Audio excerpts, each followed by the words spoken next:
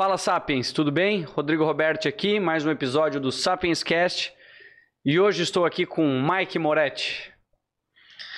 Fala, Mike Rodrigo. Moretti, que é ativista. Calma, calma. Ele tá começando. Não, não, tá- corta o caralho. Não tem, não. Segue. Nós vamos, ó. Ativista ambiental, social, empresário. Ok, eu não vou falar o resto. Por favor. O resto vai sair depois. Mas psicólogo também? Não, brincadeira.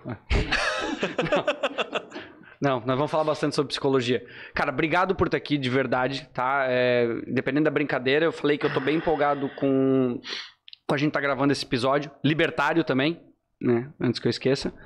É, mas porque eu acho que o que a gente conversou antes de começar a gravar, é, eu gostei do teu entendimento do mundo e não só sobre política, sobre social, mas sobre tudo. Eu acho que a, a tua opinião é bem, bem legal, a forma de ver o mundo e a forma de explicar. Então, acho que vai ser um bate-papo bem interessante. Obrigado por estar aqui. Cara, eu que te agradeço pelo convite. Já comecei te cortando, né, cara? Uma tentativa de, de evitar a apresentação do currículo, né? Como psicólogo. É, problemas. Mas é, quero te agradecer pelo espaço. Acho que o trabalho que vocês fazem muito interessante.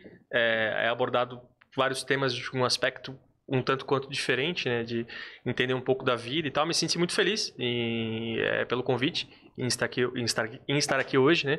É, especialmente. E, cara, vamos trocar ideia aí, cara. Tô Bora. abertão aí. Vamos falar sobre o mundo, mas, cara, antes, pra quem não sabe, inclusive eu não sei, tu explicou só um pouquinho, mas, cara, quem é o Mike até os 26 anos? Cara.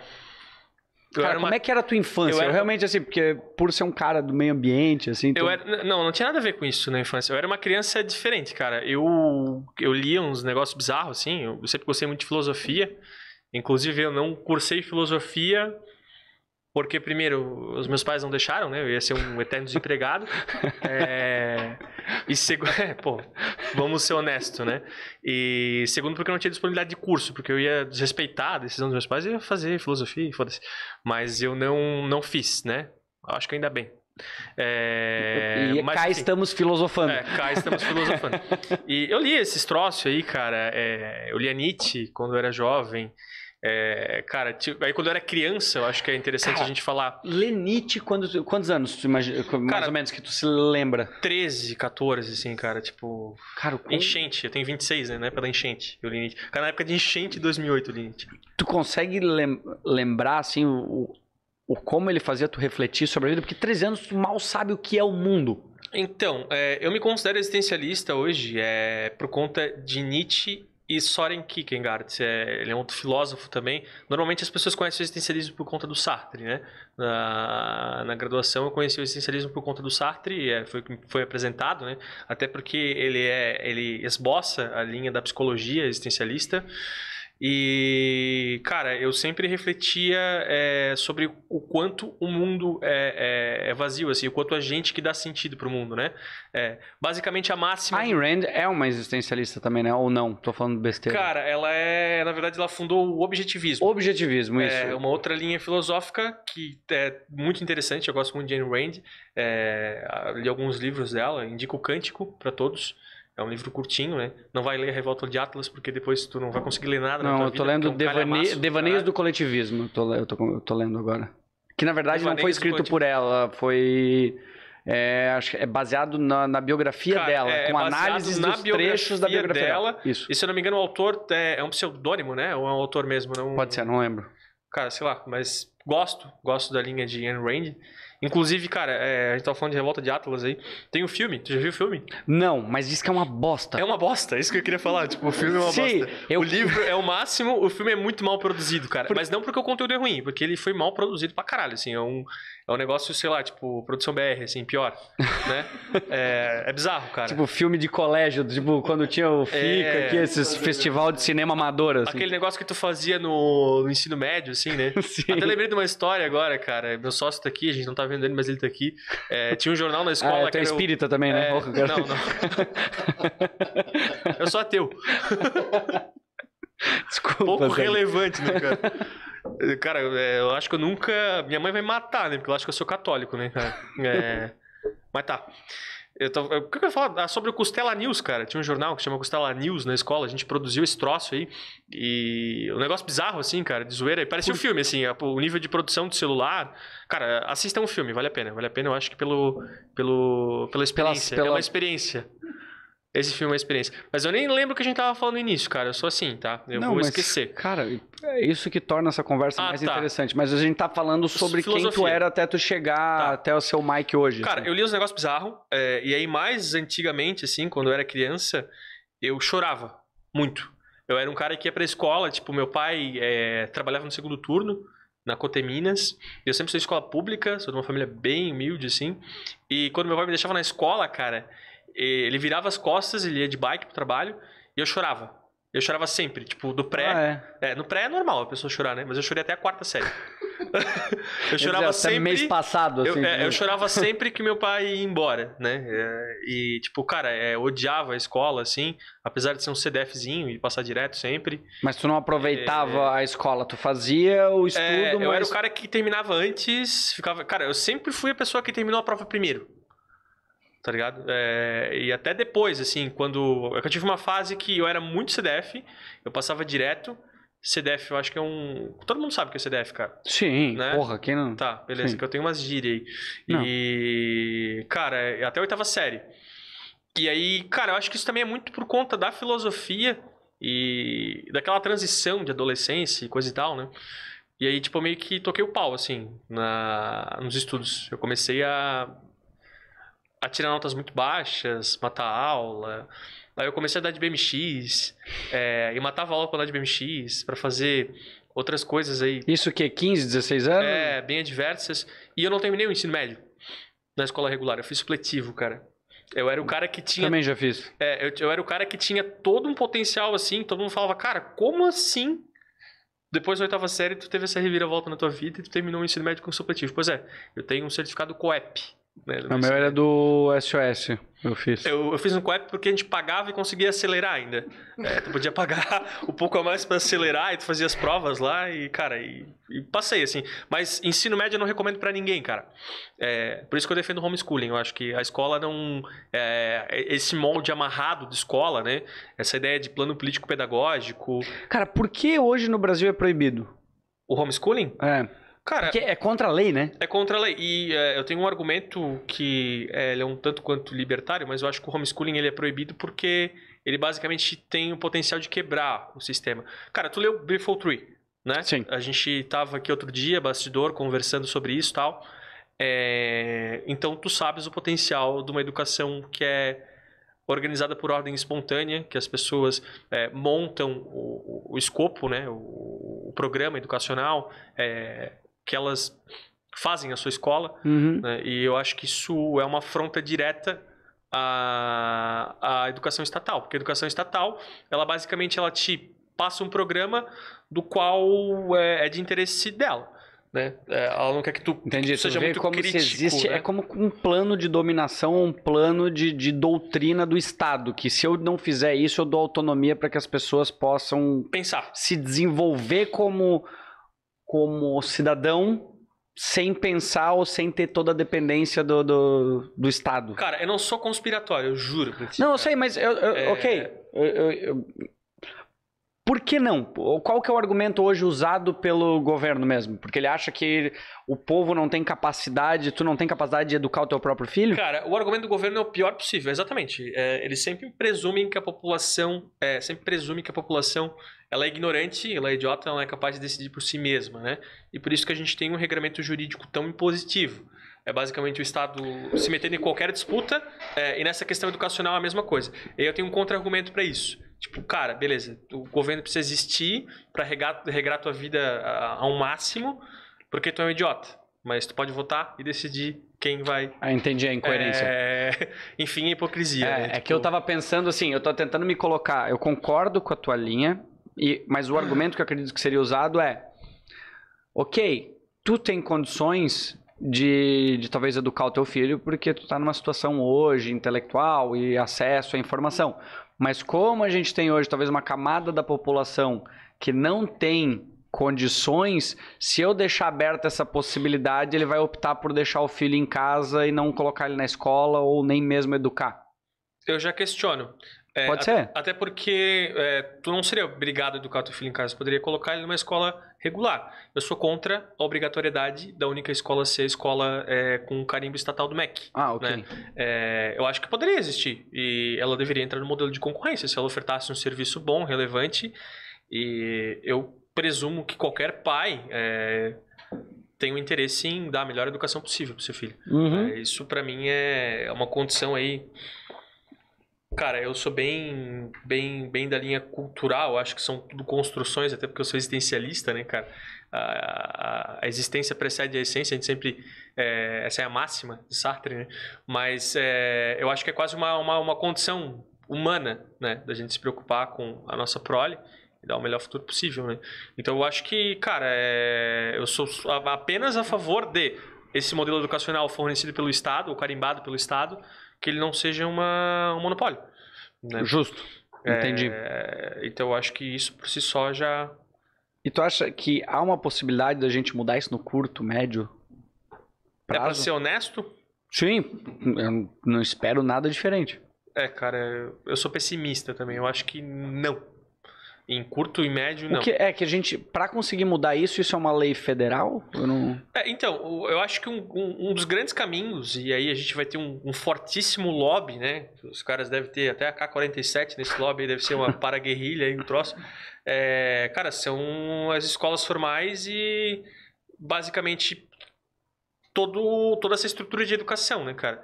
É, eles vão ser radicalmente contra, né? É, e aí também é uma, uma questão de apelo popular, até porque as pessoas não entendem essa pauta, né? É, justamente o argumento é esse, né? É o, mais, é o mais natural possível que as pessoas falem. Cara, tu é a favor de homeschooling, então é a favor, tu é a favor que o pobre, que não tem acesso à educação, ele deixe seu filho em casa. Aí, pô, peraí, cara, é- há um salto lógico enorme, né? Ninguém tá falando que é, eu sou contra a escola. É, A gente é contra um modelo monopolista, né? Como eu argumentei anteriormente. Então eu acho que é, tem um apelo emocional e isso é sempre muito bem utilizado, né? Então por isso que eu não acredito que a gente vai, vai romper esse sistema aí tão cedo. Minha avaliação pessoal, que não vale de absolutamente nada.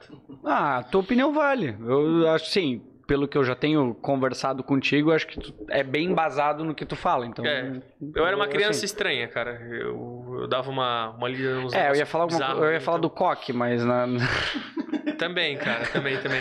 O coque. Cara, o coque. É, o, coque, cara. pra, quem é, pra quem não tá vendo, tá só ouvindo, tu tem um coque samurai, né?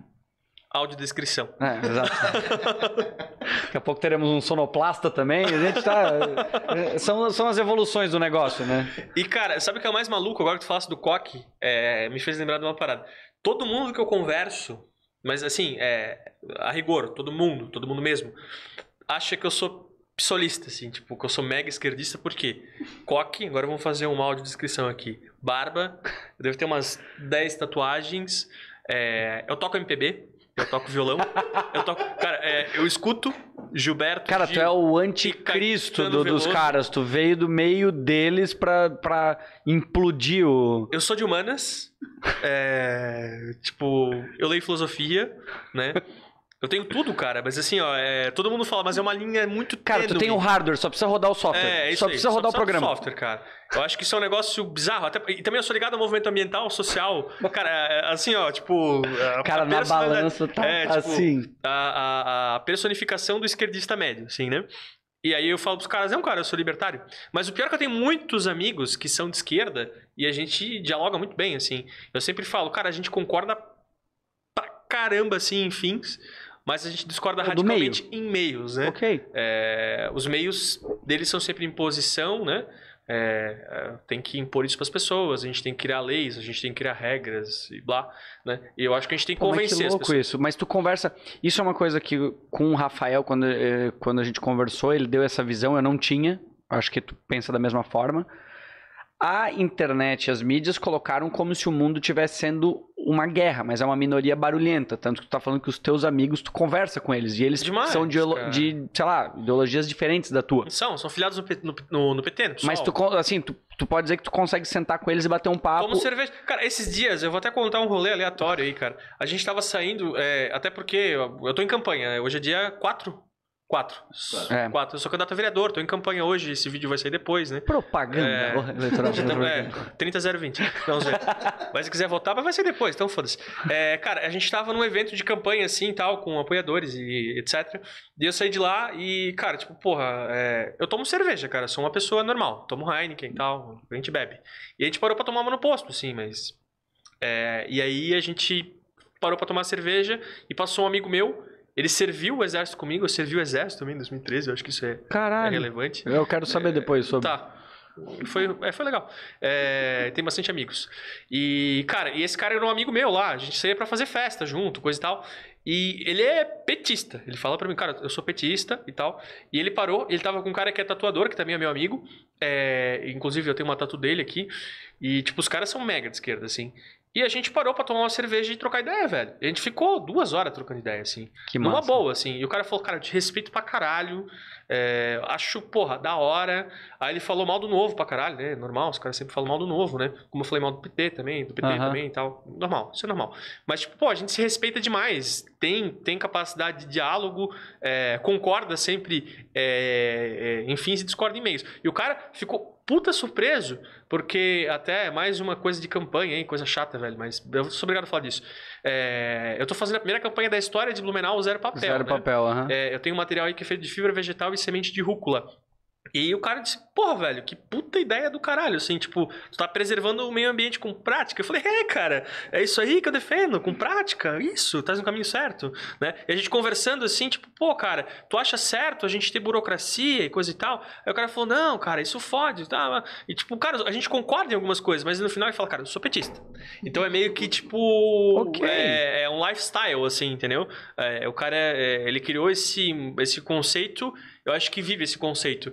E por um momento a gente consegue quebrar esse conceito conversando e tal, mas no final o cara sempre reforça a identidade dele, né?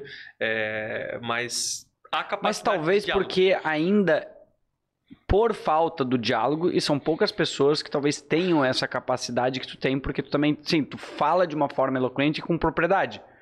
Sim, tu é uma pessoa que gosta de conversar.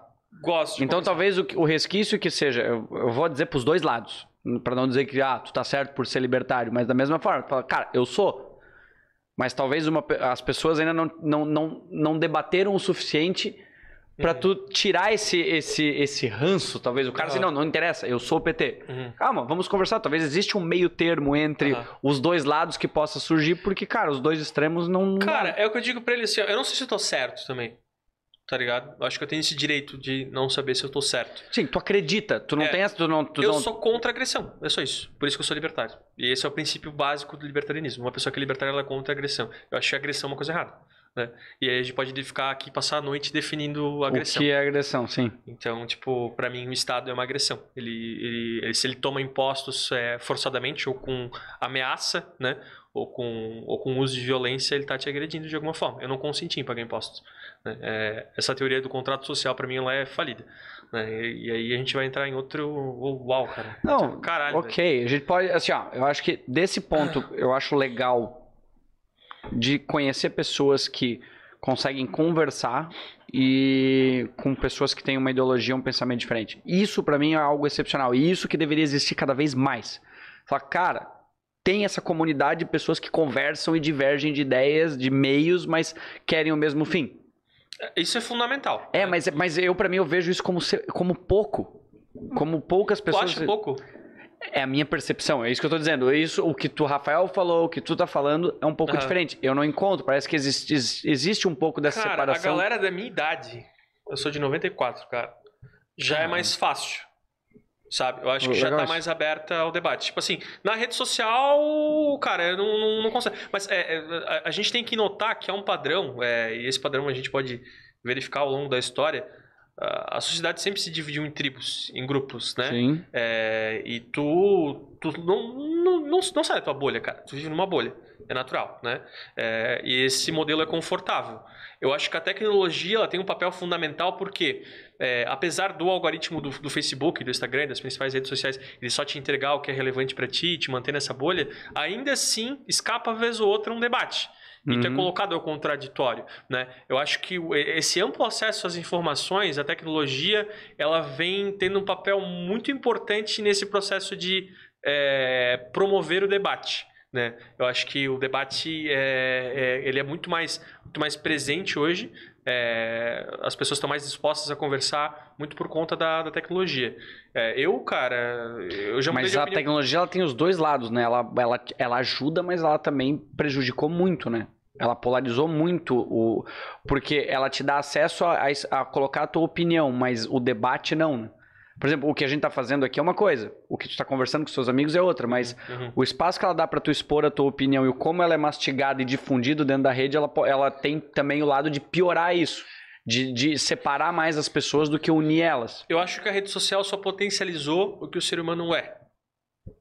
Na minha avaliação. Ok, sim. É, ela deu espaço né, é, para te conseguir amplificar esse acesso à informação. Isso acabou potencializando é, o que o humano é, na minha avaliação. Mas, cara. E é... o que tu acha, o que tu vê como humano? Cara, o ser humano, para mim, é, de novo, eu sou existencialista, então é, toda, toda a minha referência teórica vai partir dessa linha, né?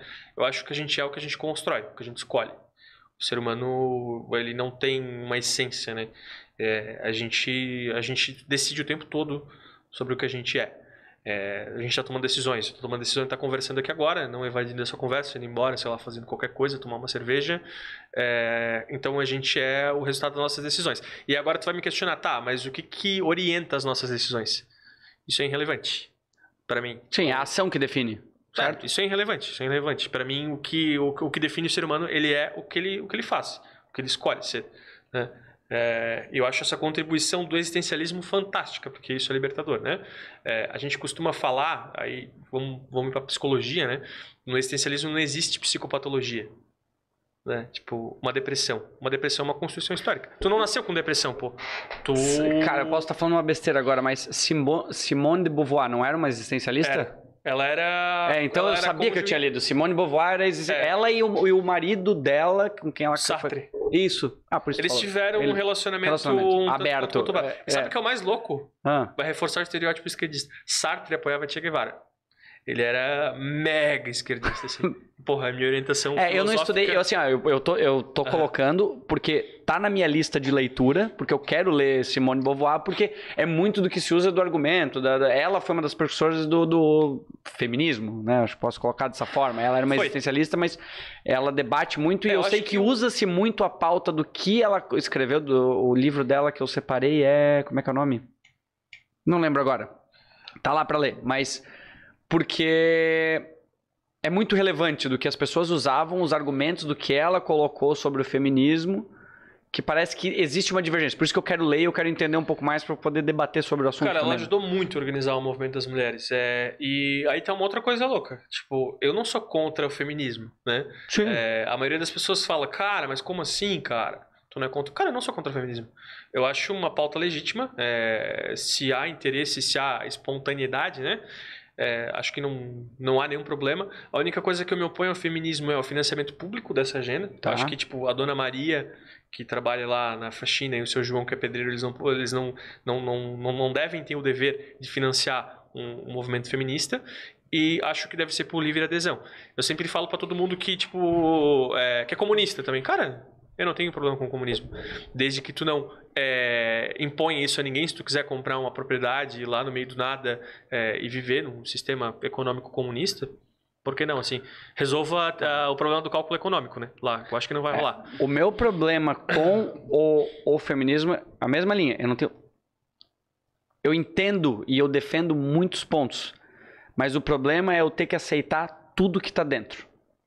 Eu tenho que aceitar a caixa com todas as, as, as, as, defesas ou todas as pautas. Isso que eu não concordo. Porque eu, eu acho assim, eu acho que eu tenho que olhar falar, cara, isso aqui eu concordo, mas como que é isso aqui? O que, que vocês defendem? Porque se eu vou lá e falar, não, isso aqui eu não concordo, não, então tu não pode fazer parte do movimento. Ou tu, ou tu aceita tudo ou tu não aceita nada. Isso eu não concordo. Tem um cara que ia gostar disso, cara. O russo, mano, ele ia chamar isso de venda casada. Ia processar. Pô, esse cara é bizarro também, né, cara? Lá em São Paulo. Bah. Esse cara é meme pra caramba, assim, no movimento libertário. A gente fica zoando, É? né? Por quê? Pô, tem uns vídeos dele que ele vai lá em São Paulo, tipo, pega os rolos de papel higiênico, assim, e tira um e diz assim, eu quero levar esse. Aí a menina fala lá, ah, mas não pode. Não. Aí ele já pega lá o Código de Defesa do Consumidor e fica, porra, dando... Bah. Não, mas é que assim, ó, entende? Eu tava falando esses dias sobre isso. Falei, cara, tem muita coisa que eu acho que a gente tem que lutar pelo direito de oportunidade e existe em muitos pontos importantes. Uhum. Mas quando eu sou obrigado a defender tudo, eu falo, cara, não, tem isso aqui, ó, isso aqui eu não concordo, isso aqui eu acho que não. Ah, não, então tu não pode fazer parte. Porra, como assim? Mas aí que tá, tipo, eu acho legítimo também o direito de, é, de um movimento privado dizer assim, tu não pode fazer parte. Tudo bem, Né? mas tu não poder dizer assim, não poder. é, eu não Tem poder. o direito de odiar também. É.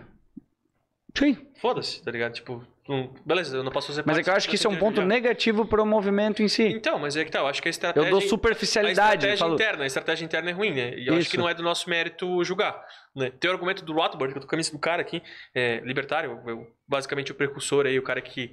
É, o criador da ética de propriedade. é, ele basicamente fala assim, cara, tu não gostou? Faz melhor, cara. Propriedade privada, meu amigo. Tipo, isso aqui é meu, eu decido aqui. É, meu corpo, minhas regras, né? eu decido, eu decido aqui. Então, Sim. tipo, cara, é, não gostou, vai lá, faz melhor, né? Prova. É, mas, cara, a gente tava falando um negócio ali que eu achei interessante. Ah, sobre o Celso Russomano, cara. E aí eu lembrei do negócio lá atrás que a gente tava, eu tava conversando com meu amigo esquerdista naquele dia. É, mas eu acho esse, esse debate interessante por quê? Porque, é, voltando agora pra esse aspecto, os caras falam assim, cara, eu defendo o Estado porque o empresário ele é muito mal e no livre mercado existe muito monopólio. E aí eu faço o link com o Rothbard que eu falei agora. Cara, tipo, o cara tem um livro que se chama Man, Economy and State, que é, eu fiz até uma vaquinha para um financiamento coletivo ali, um crowdfunding e tal, pra gente financiar o projeto de tradução desse livro, que ele só tem em inglês. Eu li essa porcaria. É um calhamaço do caralho. Ele é em inglês. É, e ele basicamente defende que no livre mercado não existiriam monopólios, porque é um livre mercado, não é um mercado regulado, né? Uhum. É, basicamente, é, se uma empresa ela fornecer um serviço bosta, ou sei lá, cobrar muito caro por essa, pra fazer essa xícara aqui linda do, do Sapiens Cast, vai chegar outra empresa e vai oferecer uma xícara, entendeu? Tipo, tu vai ter sempre a, a possibilidade de alguém, de um player entrar nesse mercado, né? Então, se o preço estiver alto, o cara vai olhar, cara, cara, porra, aqui tem um puto spread, eu posso entrar aqui, posso oferecer mais barato, eu posso fazer melhor. Então, tipo, pô, não tem como, né? E aí a gente entra nesse aspecto de novo. Tu apresenta uma linha lógica, talvez para essas pessoas, é, tu mostra que, tipo, cara, é, bah, tá aqui, né? Não, não tem como. Aí o cara fala, cara, mas eu sou contra bilionário, eu quero é, degolar bilionário, por isso que eu sou petista. É, mas e- Aí feminista é a mesma coisa, tipo assim, ah, cara, é, tu é contra esses pontos aqui? Ah, beleza, mas eu defendo isso aqui tudo num pacote, se tu não gostar, eu sou feminista e pau no seu cu, assim, tipo... É, bem pô, isso. Mas é que eu acho que ainda falta muita informação. Pra mim, inclusive. Eu tô aprendendo muito pra começar a conversar com as pessoas. Então, assim, quando tu fala isso, a pessoa, ah, o bilionário, eu odeio porque ele é o demônio e eu vejo novela e na novela ele é do mal e não sei o que. Ele fala, cara, Uau. quanto que eu ainda tenho que munir essa pessoa de, de informação, Ah. de debate, porque ela pode, ela tem outras formas de defender aquilo que ela tá dizendo. Ela só tá usando os argumentos errados porque ela não tem informações. Tem gente que tu deve conversar que deve falar, cara, eu sou contra bilionários. E ela pode dar é, argumentos plausíveis, que tu pode falar assim, ok, eu posso entender o teu lado, não concordo por causa disso, disso, daquilo. Mas quando a pessoa fala, cara, não, não gosto por causa disso, tu vê que ela não tem propriedade ou ainda tá muito longe da gente conseguir fazer essas pessoas É, conversarem. Ou ainda não é sacou um assunto o rolê, muito... né? Oi? Ou não sacou o rolê mesmo, né? Tipo assim, pô, cara, bilionário. É. Vamos lá, Bill Gates. O cara criou a, Mic- a- a Microsoft. Cara, esse cara ajudou mais pessoas é, Sem a, dúvida. A, a mudarem de vida do que prejudicou. Tipo, isso é notório, é um fato, cara, é amplamente comprovado. A durante a Fundação Melinda Gates Foundation. é, só- não, e nem por isso, cara, por conta do produto que ele, que ele, que ele criou. Tipo, olha só quantas empresas usam o, o- a Microsoft, quanto a sociedade se desenvolveu com base na Microsoft, né? Então, tipo, com certeza, é, quando, cara, é quando tu cria uma coisa foda e as pessoas querem comprar essa coisa foda, é porque essa coisa foda ela resolve o problema das pessoas. Isso é muito bom. Por isso que eu sou pro mercado, cara. Porque o mercado, Ah, ele, ele- ele basicamente ele é um sistema informacional. Se eu é, produzo uma coisa e essa coisa não vende, significa que as pessoas não precisam dessa coisa ou que essa coisa não é boa. Né? O mercado ele é basicamente um- uma métrica para te avaliar o sucesso ou o fracasso de alguma coisa. E se um cara é bilionário, puta, porque o cara é um gênio produziu alguma coisa que é muito útil para as pessoas. Né? E esse cara ele tem que ser, é, é, de fato, reconhecido por isso. Né? Não degolado, né, cara? Tipo, esse cara ajudou muito mais. É, porque as pessoas pagaram, investiram, botaram seu dinheiro em troca do produto que ele, que ele oferta. Mas é um negócio, Entra cara... a natureza do ser humano também, de forma irracional, é tu questionar e tu criticar essa pessoa. Mas quando tu dessa forma e tu consegue mostrar para as pessoas o quanto, fala, cara, olha o que essa pessoa faz. Olha, existe o mérito, existe... Até tu mostrar de uma, para uma pessoa, cara, Olha quantos empregos essa pessoa gera. Olha o que ela faz. As pessoas não querem ver isso. Elas querem só Sim. atacar e dizer que essa pessoa é má e que o Estado é bom. Olha essa puta utilidade que a pessoa criou para a sociedade que todo mundo usa e consegue desenvolver o seu próprio negócio, ou melhorar a sua vida, ou salvar uma pessoa, né? É... Então, tipo, acho que esse debate é meio raso. Mas é chato pra caralho falar sobre isso, cara. Ah, então Eu vamos falar de outra sobre, coisa. sei lá, Futebol, não, zoeira. É, gosto também, sou corintiano, cara. Porra, vai, Não, vamos fazer o seguinte: tu tava na escola, tu voltou, teu pai embora, tu chorava. Chorava. Eu queria, eu queria chegar assim, ó, eu queria, não, nem eu. É, tu não vai ter, né? Porra.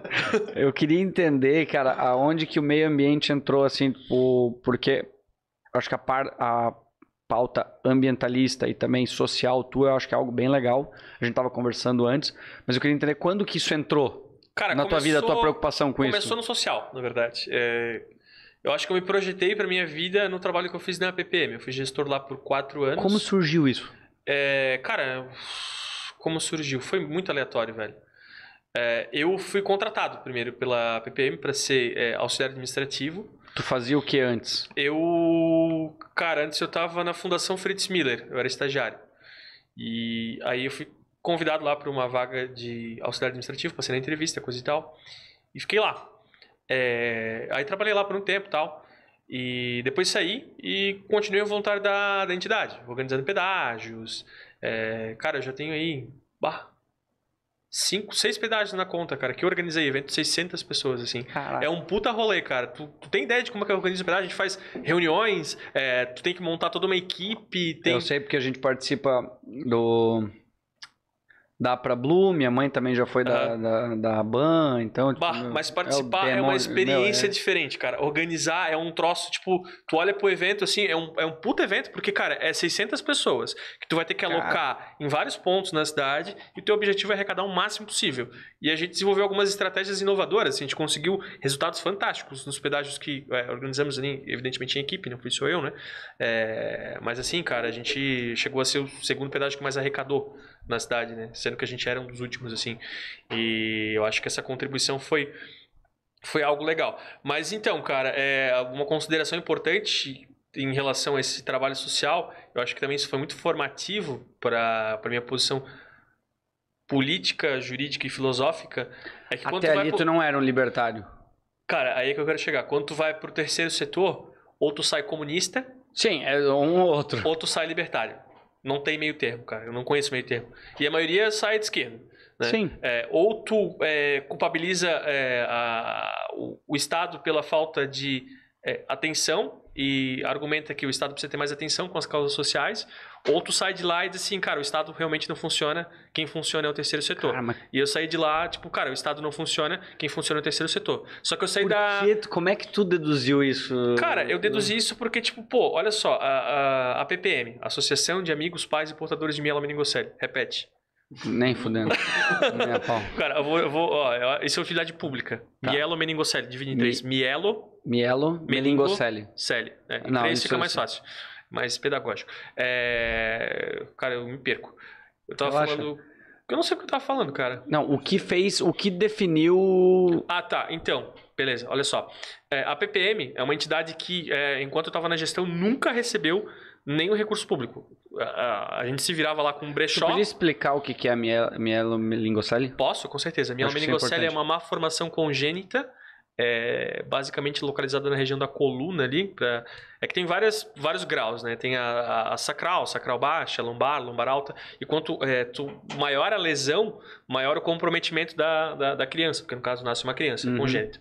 É, da criança, né? Se ela tem uma lombar alta, provavelmente ela talvez ela nem ande. Se ela tiver uma sacral baixa, ela vai andar, de boa. Né? E se ela tiver uma lombar ali, sei lá, uma lesão intermediária, ela vai andar de cadeira de rodas. E basicamente aí, é, as três principais complicações é o comprometimento motor, né? É, a incontinência fecal e urinária, né? Uhum. É, essas pessoas têm que usar fraldas o resto da vida. É, hoje tem intervenções cirúrgicas, né? Para minimizar aí e até é, ter uma solução ali que é via sonda e tal. É, e a terceira é a própria inclusão, né? É, E, tipo, tem uma dificuldade psicológica social enorme, né? E, cara, a minha conclusão para me tornar um libertário é que o Estado não consegue atender essas pessoas. Por quê? Porque o Estado não consegue atender o ser humano. O ser humano, ele é uma especificidade, ele é subjetivo. Cada pessoa tem uma necessidade diferente. Pá, entendi. Cara, todo mundo tem uma necessidade diferente. Se eu perguntar aqui agora, o que, que, o que, que vocês querem comer? Tem quatro pessoas aqui. Eu tenho certeza que vai ser pizza, vai ser um nana, vai sair sei lá Aham. o quê, ou vai sair, sei lá, uma rúcula. Não, sei lá, rúcula pra mim não. Já chega meu cartão. É, eu não sou fit também. Mas enfim, cara, preferências são diferentes. E, brother, Falta tu virar vegano. não tem como tu atender as preferências das pessoas. Entendi. E o trabalho que a PPM faz, que é especificamente para portadores de mielo, ela é melhor do que o trabalho do Estado. Né? O Estado não consegue salvar a vida dessas pessoas ou minimizar o impacto é, dessa lesão nas pessoas. Então eu cheguei na conclusão que, é, cara, é, é- é ciência, velho, metodologia.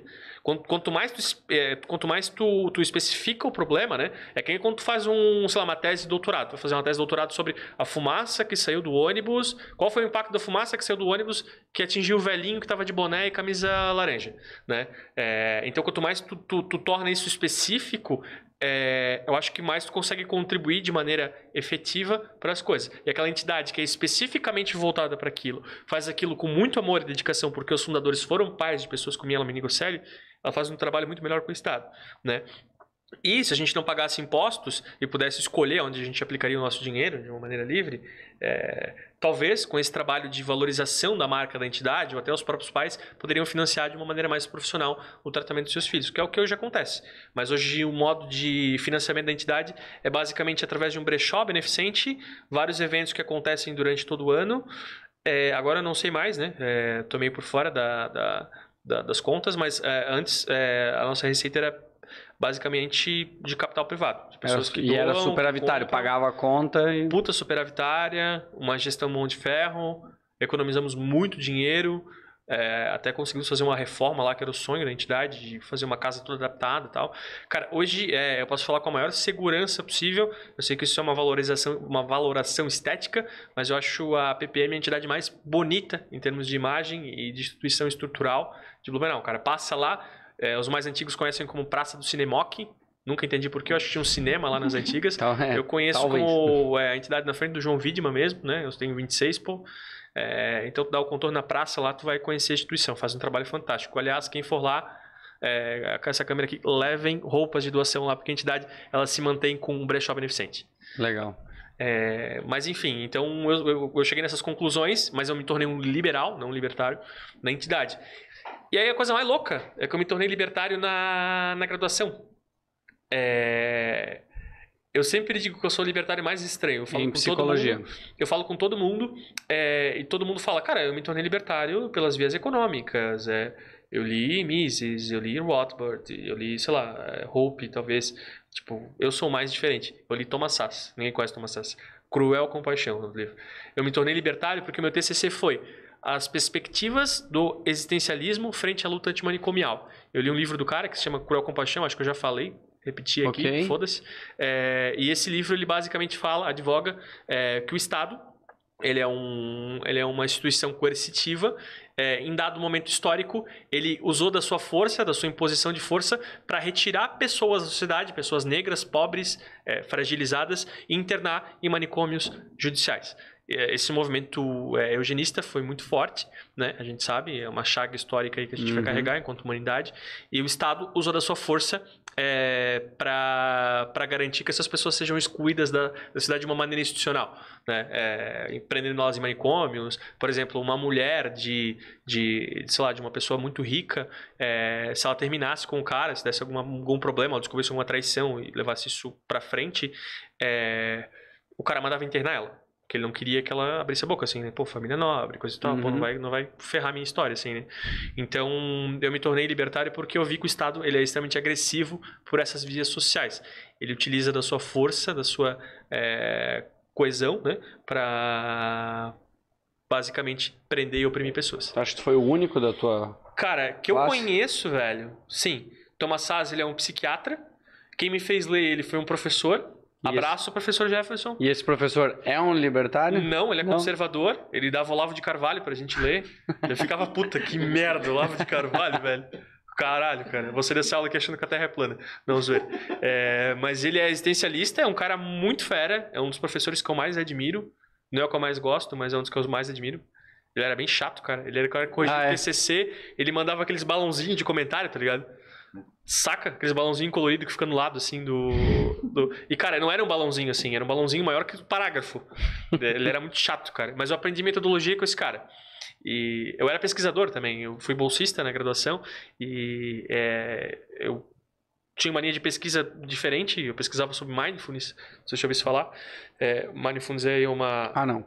Não? O que que tu falou? Repete? Mindfulness. Mindfulness. Ah, tá, ok. Já ouviu isso falar? Mindfulness, ok. Isso. Tá, entendi. É é uma meditação com Sim. caráter científico Uhum. e tal. O John Kabat-Zinn inventou isso. Eu pesquisava sobre isso na graduação, não tinha nada a ver com a linha que eu Hoje é um acreditava. termo que tá em todo lugar, essa porra. Tá em todo lugar. É, mas é da hora. É, Tem propriedades técnicas. E aí eu tinha uma linha de pesquisa sobre isso e tal. Eu não era muito aquele cara da metodologia, eu não tinha aprendido muito bem lá no segundo semestre, quando a gente teve metodologia. E depois eu aprendi com esse professor porque ele era puta chato, assim. Aí eu me obriguei a aprender a formatar um aprender. artigo e tal. E hoje eu levo isso pra vida, cara. Até aí, formato artigos aí, TCCs, 500 pila. A gente. não, zoeira, não faço isso, cara. Não tem tempo, velho. Porque até porque eu tô envolvido em mil rolê, né? Esse rolê social é um. Ah, eu acho e eu assim, tô no ó, rolê eu- ambiental também, né, cara? Artigo, formatação, eu acho. de Tu um- não gosta? Cara, eu O sou meu TCC, quando eu entreguei, eu falei, cara, eu não acredito que eu tô gastando esse tempo pra formatar essa porra. eu sou mega Eu metódico, quero cara. entregar o conteúdo. não preciso estar com ele formatado. Eu vou ficar puto. Eu, eu não gosto disso. Eu gosto de entregar, tanto que qualquer apresentação ou PowerPoint, quando tinha que fazer na faculdade, eu fazia totalmente diferente. Porque eu odiava ter que seguir a norma de fazer os padrões, porque tinha que ter a fonte tal, o negócio tal. O que tu quer saber? Tu quer isso? Tá aqui, é isso aqui. Isso, A. BNT tu nunca A curtiu, BNT é então. o caralho, odiava aquilo. Mas ok. Cara, eu gostava. Eu, É, eu que respeito, e eu acho animal, considero quem gosta. Eu Aham. só, eu, pra mim, eu achava uma Eu perda de tempo. odeio burocracia estatal, né? Porque ela é imposta, mas eu gosto de burocracia é, por adesão. Tipo assim, pá, sei lá, eu quero é, escrever pra revista científica com É que isso uma... te satisfaz, eu acho que. É, eu acho que eu sou meio sádico. Não, zoeira. É, mas é um negócio diferente, assim. Eu, eu, eu sou um cara muito metódico. É, muito mesmo, muito. Tipo assim, ah, vamos fazer alguma coisa grandiosa. Tá, como que a gente vai fazer especificamente isso? Ah, mas, é, pô, isso aqui vai ser legal. Tá, mas como que isso. Como é que a gente vai fazer isso? Eu fico, eu sou o cara chato do rolê, assim. Tipo, eu quero saber como. Ok. Como as build, assim, vamos lá, vamos tentar desenhar como é que vai ser o escopo do projeto. É, eu sou assim, não gosto disso de maneira imposta, via Estado, né? Mas eu é, normalmente compactuo com, com alguns regramentos é, privados, né? E, mas tá, é, é, o rolê social, essa foi a história. E tem o rolê ambiental também, né, cara? Que tu tinha perguntado lá, que eu Uhum. caguei, eu acho, lá atrás, mas Não. vamos falar sobre a isso gente, aí. eu acho que tu entrou bem na parte do, do, do social. É, o rolê ambiental, cara, foi mais porque eu comecei a perceber, bah, precisa, né, cara? Porra, lixo na rua, um negócio bizarro assim. É, eu organizei um evento que eu sou. Cara, é um evento que me deixou muito satisfeito. Que a gente tirou 800 litros de lixo da Rua Amazonas, lá no Garcia. Que sou do, sou do, do Progresso, né, cara? Sou do extremo sul lá. É, tem até um grupo, Favela Venceu, que a gente mora no Progresso o brother tá rindo que ele tá no Quantas grupo ali. pessoas tem no grupo? Tem quatro, cara. Tem um amigo meu que ele é investidor, né? E aí ele saiu de lá e tal. Mas eu moro lá ainda. É, mas enfim, eu sou lá do Progresso lá e tal. E, cara, é, me deu muita satisfação em fazer alguma coisa pro meu macro bairro, que era o Garcia, assim. E eu me senti muito útil. E a gente tirou 800 litros de lixo da primeira caminhada consciente do Reino do Garcia, foi o nome, né? Pô, alusão ao reino, né? Salve, Sargento Juncos aí. Tava aí, já veio. Tava ele, aí? tá- ele já veio, já gravamos um com ele e ele vai vir de monstro, novo. monstro. Adoro o trabalho dele. É, mas enfim, e aí, cara, é, antes disso também eu já, eu já fiz algumas ações com o Pegada Verde, que hoje eu integro é, o Comitê de Lideranças lá, tal, faço parte, é, com a ONG Amigos da Natureza. Então, eu tenho uma perspectiva um tanto quanto diferente do meio ambiente. Eu não sou um eco-chato. Né? O que é muito novo pro rolê, né? Tipo, quando fizeram, é, quando tramitou na Câmara aquela Tu matéria... não diz assim que tu quer salvar o planeta. Eu quero salvar o planeta. E eu quero- mas eu quero salvar do jeito certo, né? Não do. Tá, é, é, é que eu digo. É, isso é a minha opinião, né? Eu falo, tá, cara, diga aí. Eu falo o seguinte: eu não, eu não gosto das pessoas quando elas falam que elas querem salvar o planeta. Por quê? gente quer te salvar. Porque o planeta existe, cara, bilhões de anos. Bah, mas dá é- uma chacoalhada, assim, Sim. não, eu sei, é, é só o termo. É que acho que tu entende, talvez seja a expressão que tu usou, mas tem gente que usa. Não, porque o planeta tá doente, eu vou salvar o planeta. Não, tu vai se salvar. O planeta ele vai estar ali, ele vai continuar aqui pra sempre. O ser humano, a gente está pensando na continuação da, da sobrevivência da, da nossa espécie, mas não como o planeta. O planeta tá cagando pra É, nós. exato. Não, eu acho que a tua consideração foi perfeita. Foi- é o que eu penso, né? A gente usa é, alguns termos que talvez não, não, não- expressem a, a realidade, mas essa é basicamente a lógica que eu penso. O planeta, ele nos é útil, né? Sim. É, eu sou um libertário, falo em ética, mas agora tô falando em utilitarismo. O planeta Sim. ele nos é útil, né? É, eu, eu prefiro a minha vida do que a ética, né? Já começa por aí. Então o planeta ele, ele é necessário ter utilidade. É, mas vamos lá. E cara, é, eu tenho uma, uma- umas opiniões um pouco diferentes, controversas assim nesse movimento ambiental, né? Por exemplo, quando trataram sobre a matéria de é, proibição do canudinho plástico e perguntaram a minha opinião, eu falei, cara, eu sou putamente contra esse troço aqui. Como assim tu vai proibir canudinho plástico? Primeiro, né, é, se tu proibir o canudinho plástico, tu não, não resolveu o problema. Né? Tu vai criar um outro. As pessoas vão começar a usar copinho plástico, porque elas não entenderam o- Uhum. o, negócio, né? Foi o que aconteceu, É, né? Foi só imposto, né? Na verdade, acho que nem passou isso a nível municipal. Teve um. Não, não, não passou na Câmara. Então não passou. Se eu não me engano, não. Acho Ah. que não. Ah, foda-se. Ok. É, se passou, é, provavelmente eu deve estar eleito agora. Não, brincadeira, não sei se eu vou eleger, sei lá.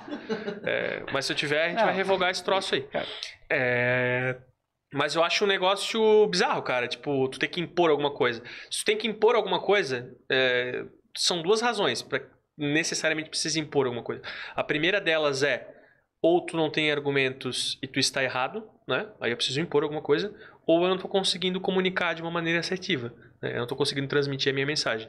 É, eu não estou dizendo, não estou conseguindo dizer, cara, preservação é importante, velho. Uhum. Tua vida depende desse troço aqui, né? Se eu não co- consigo transmitir isso ou tiver errado, eu preciso impor, né? Evidentemente. Então, eu acho que tu impor alguma coisa, primeiro, é contraproducente porque tu não resolve o problema. Tu basicamente pega o problema e tu joga Uhum. no tapete, tampa, né? Tu não tá discutindo seriamente sobre aquilo, né? Tá dizendo assim, tipo, mãe, né? Ah, mãe, eu posso ir jogar futebol hoje às 8? Não. Por que não? Por que não? Né? Tipo, tu não, não explicou pra pessoa que, tipo, pô, 8 horas tá escuro, ah, tu mora aqui no progresso, aqui é foda. Sei lá, tipo, um negócio assim, tá Dá ligado? um argumento É, válido. não deu um argumento válido, né? E eu acho que isso é necessário, a gente começar a ter esses debates, né? E até por isso que eu sou um libertário metido nesses rolês, porque eu acho que a gente tem muito a contribuir nesse aspecto, né? No aspecto social e ambiental, coisa e tal. E é, a gente precisa tratar isso de maneira séria. E, cara, é, eu acho que eu tenho uma contribuição legal, porque eu já consegui convencer gente disso. Né? Tipo, eu, eu- eu costumo dizer que a minha métrica é convencer pessoas disso. Cara, tu é, tu é uma minoria dentro do, do, do teu do grupo hoje, certo? Cara, dos grupos, né? Eu faço parte de alguns. É, cara, eu, eu não sei. do real. meio político libertário, todos são a favor, mas ninguém Cara, a ponto de defender. Libertário, velho. Bah, se tem uma coisa que eu tenho medo de ser é político, velho. Ok. Mas não dentro do me meio. Ah, dentro, do, dentro do meio libertário, é, que é pró meio ambiente, assim. Não, todos são pró, mas Todos de forma ativa. De forma de defender Cara, isso. não de forma- conheço, cara. Eu conheço o, Marcos Bat- o Marco Batalha. Ok, mas Marcos, então, mas esse é o meu ponto. Acho que e isso releva a importância de estar fazendo isso, porque Não, é, é- eu acho que é, um- é um- é algo muito importante. Eu me ajeitei aqui, mas não foi de, de ansiedade de falar disso, não. É legal falar disso, mas. ah, tá, então É não porque tá empolgado em falar desconfortável. sobre não, isso. tô, né? tô empolgado também. Mas é, eu acho que é extremamente necessário a gente pautar esse, esse debate, porque, cara, é basicamente monopolizado pela esquerda, né?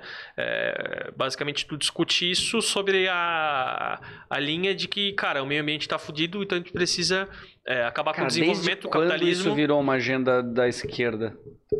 Cara, desde que a esquerda notou que isso ganha eleições, desde que a esquerda notou que isso é, é o único apelo, é um dos únicos apelos que eles têm pra pra impor agenda, né? Porque, basicamente, cara, isso pra opinião pública soa de uma maneira muito relevante. Tu fala assim, cara, vai acabar o mundo.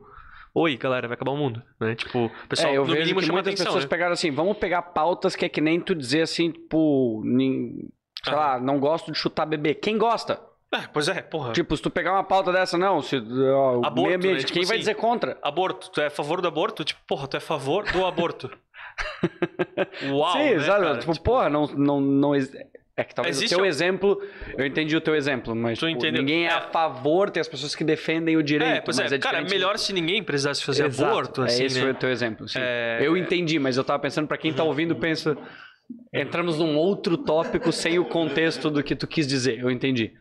É. Saca? Tu vai falar assim, ah, eu sou a favor do aborto. Tem gente que é a favor, tem gente que é contra. Mas elas não estão entendendo o contexto do que a gente tava Acho que eu falando não aqui. comuniquei bem, é. é mas, sei lá, foda-se, Ok, foda-se. é, Caguei, azar, não cara. gostou, cara. Não gostou, cara, é, dá dislike. Não, brincadeira. É, não. Não, vai poder Legal. falar. Não, interage, é bom, dá dislike Vai também. no interage. canal do Mike. eu- não tenho mesmo, foda-se, procura lá. Localiza aí. Não sei. Cara, mas então, é, essa parada ambiental, é, do, desse aspecto ambiental, cara, é, tem um negócio meio louco, né? Porque a galera meio que culpabiliza o capitalismo e a revolução industrial. E na minha Sim. visão é justamente o oposto, né? Quem mais preservou o meio ambiente foi o capitalismo e a inovação e a revolução industrial, né? É, ao mesmo tempo que a gente acelerou o nosso nível de produtividade e Por quê? Cara, porque basicamente isso foi o cerne da gente ter uma sociedade hoje moderna que tem condições de discutir isso. Antes da, antes da Revolução Industrial, que a gente estava preocupado em não morrer aos 40, Uhum. né? A expectativa de vida era muito baixa. Questão de guerra também, né? O O, nosso- Estado, o Estado desenvolvia a máquina para produzir para ele também, né? Isso. Eu acho que também é um aspecto relevante, mas eu acho que o mais relevante é que a gente teve capacidade de inovar, garantir uma qualidade de vida satisfatória e tá pensando nisso agora, né? Então o, o, o eco chato, ele tá falando isso agora só por causa do capitalismo, assim. Só ele tava preocupado em É, viver. Isso eu concordo. Ele tava lá no feudo, trabalhando agora, se fudendo, e não Uhum. tava nem pensando nisso aí, tava preocupado em viver até 40, né? Tava morrendo de, sei lá, de varíola. Ele agora Então- ele tá tendo tempo para pensar nisso. Exato, tipo, pô, o capitalismo ele ajudou a gente a ter meios de pensar nisso, tornar isso relevante. Senão o que era relevante era, sei lá, comer, né, antes. Então, é, eu acho que é, uma, é um, é um problema bem grave. Inclusive, eu fui convidado esse ano para ser é, um professor voluntário do Projeto Pescar, que é um puta projeto que eu vi nascer, basicamente. Eu fui voluntário na Fundação Fritz Miller, apaixonadíssimo, e eu ia lecionar sobre a perspectiva do é, protagonismo social é, frente ao meio ambiente. Ia é, ilustrar todo esse fato histórico, assim, né? Que o mercado é, e as pessoas atuando no mercado, elas mais preservaram o meio ambiente ou criaram meios e condições para a gente tratar isso de uma maneira relevante do que a agenda da esquerda, assim, né? Que é basicamente contra inovação, tecnologia, desenvolvimento. É... Cara, tipo, hoje a gente tem tecnologias que transformam, por exemplo, nossos rejeitos em energia através do processo de pirólise, assim, tipo, a gente consegue transformar, voltar o nosso lixo, né, um grosso modo, lixo não é um termo legal, assim, Uhum.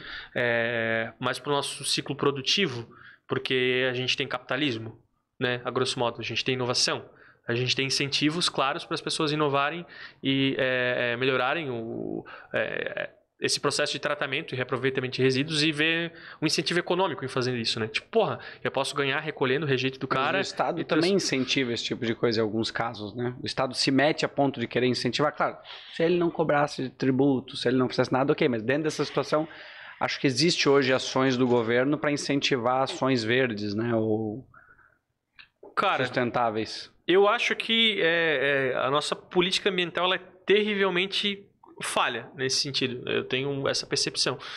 Porque, basicamente, o que, que estimula a pessoa a fazer alguma coisa hoje? É, Para mim, são tudo incentivos. Né? E a, a única ferramenta que possibilita é, essa possibilidade de incentivos é, é genuína, né? É, Uhum. é o livre mercado, cara.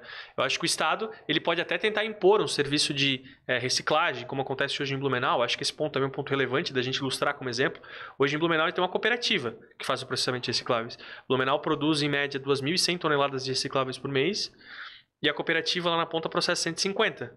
Por quê? Porque é estatal. Desregulamenta esse troço, abre mercado, possibilita Hoje não existe a possibilidade de abertura de, de- da parte da iniciativa privada fazer a Hum, coleta e não, aproveitar Não, isso. logística e coleta hoje é uma concessão, né? É, problemas graves aí, todo, todo modelo concessionário ele cria esse incentivo, né? É, porque o que acontece, cara? Pensa bem, tu é uma empresa, ok? Tu é a empresa, é, sei lá, X. E aí tu tens um monopólio sobre aquele serviço. Tu ganhou um contrato, tu vai Ah, poder explorar esse serviço o resto da vida. Qual o teu incentivo? Qual é teu incentivo? É. Né? Tu estás pensando realmente nas pessoas? Não.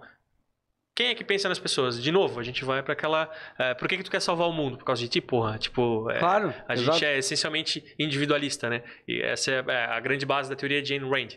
Então, é, o individualismo cria incentivos corretos, né? É, tu poder ganhar dinheiro com lixo é algo correto para que uhum. o lixo seja devidamente tratado. Entende?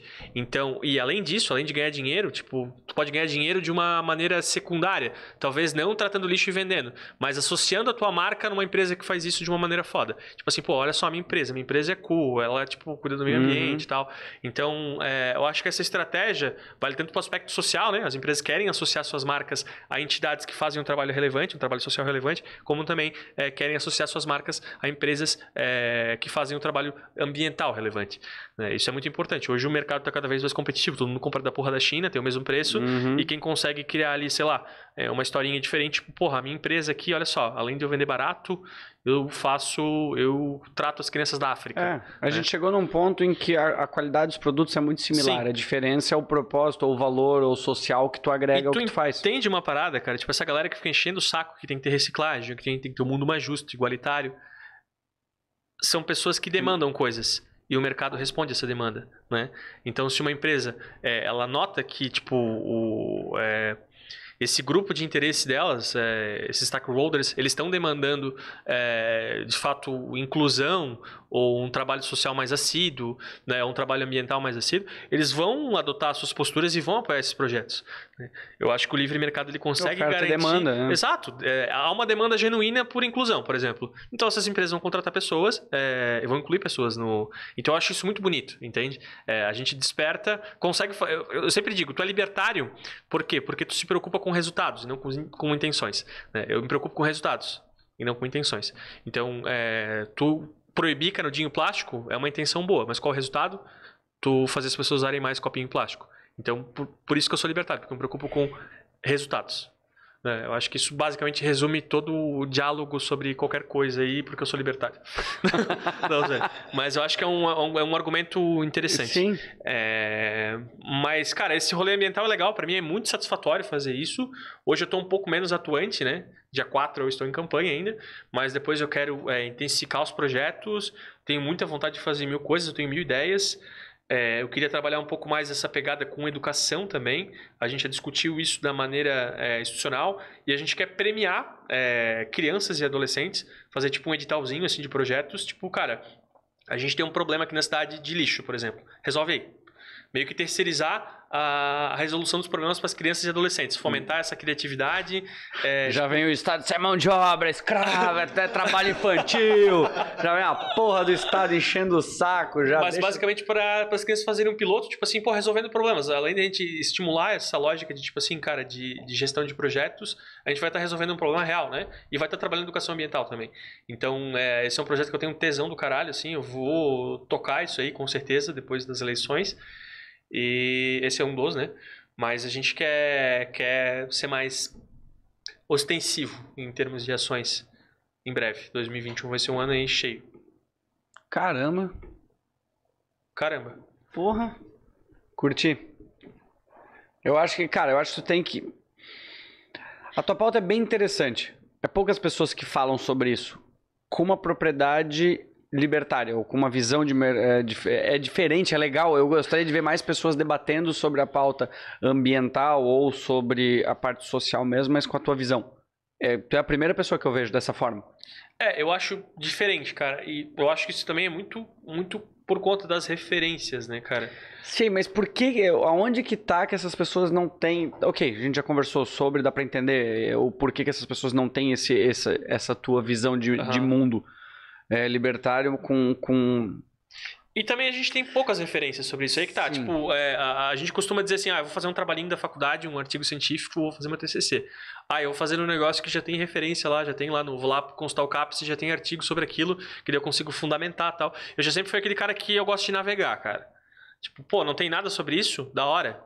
Tipo, é, a, a minha linha de pesquisa em psicologia, no meu projeto de pesquisa e extensão, que eu fui bolsista e tal, falei sobre isso sou puta repetitivo, é, foi sobre é, um negócio que não existia. Era um protocolo de mindfulness para crianças. Okay. Tipo, não existia. Gente, nosso projeto era criar. A gente não conseguiu. né? Mas nosso projeto era criar. Falhamos miseravelmente. Por Mentira. quê? Não, foi, não, foi legal. A gente é, fez algumas referências e tal. Beijo, professora Fran, deve estar. Tomara que ela assista, eu vou compartilhar com ela depois. Mas por que, que tu acha dela. que tu falhou? É, não, eu tô zoando, não, não falhou. Ah, ok. Não, foi legal, foi legal.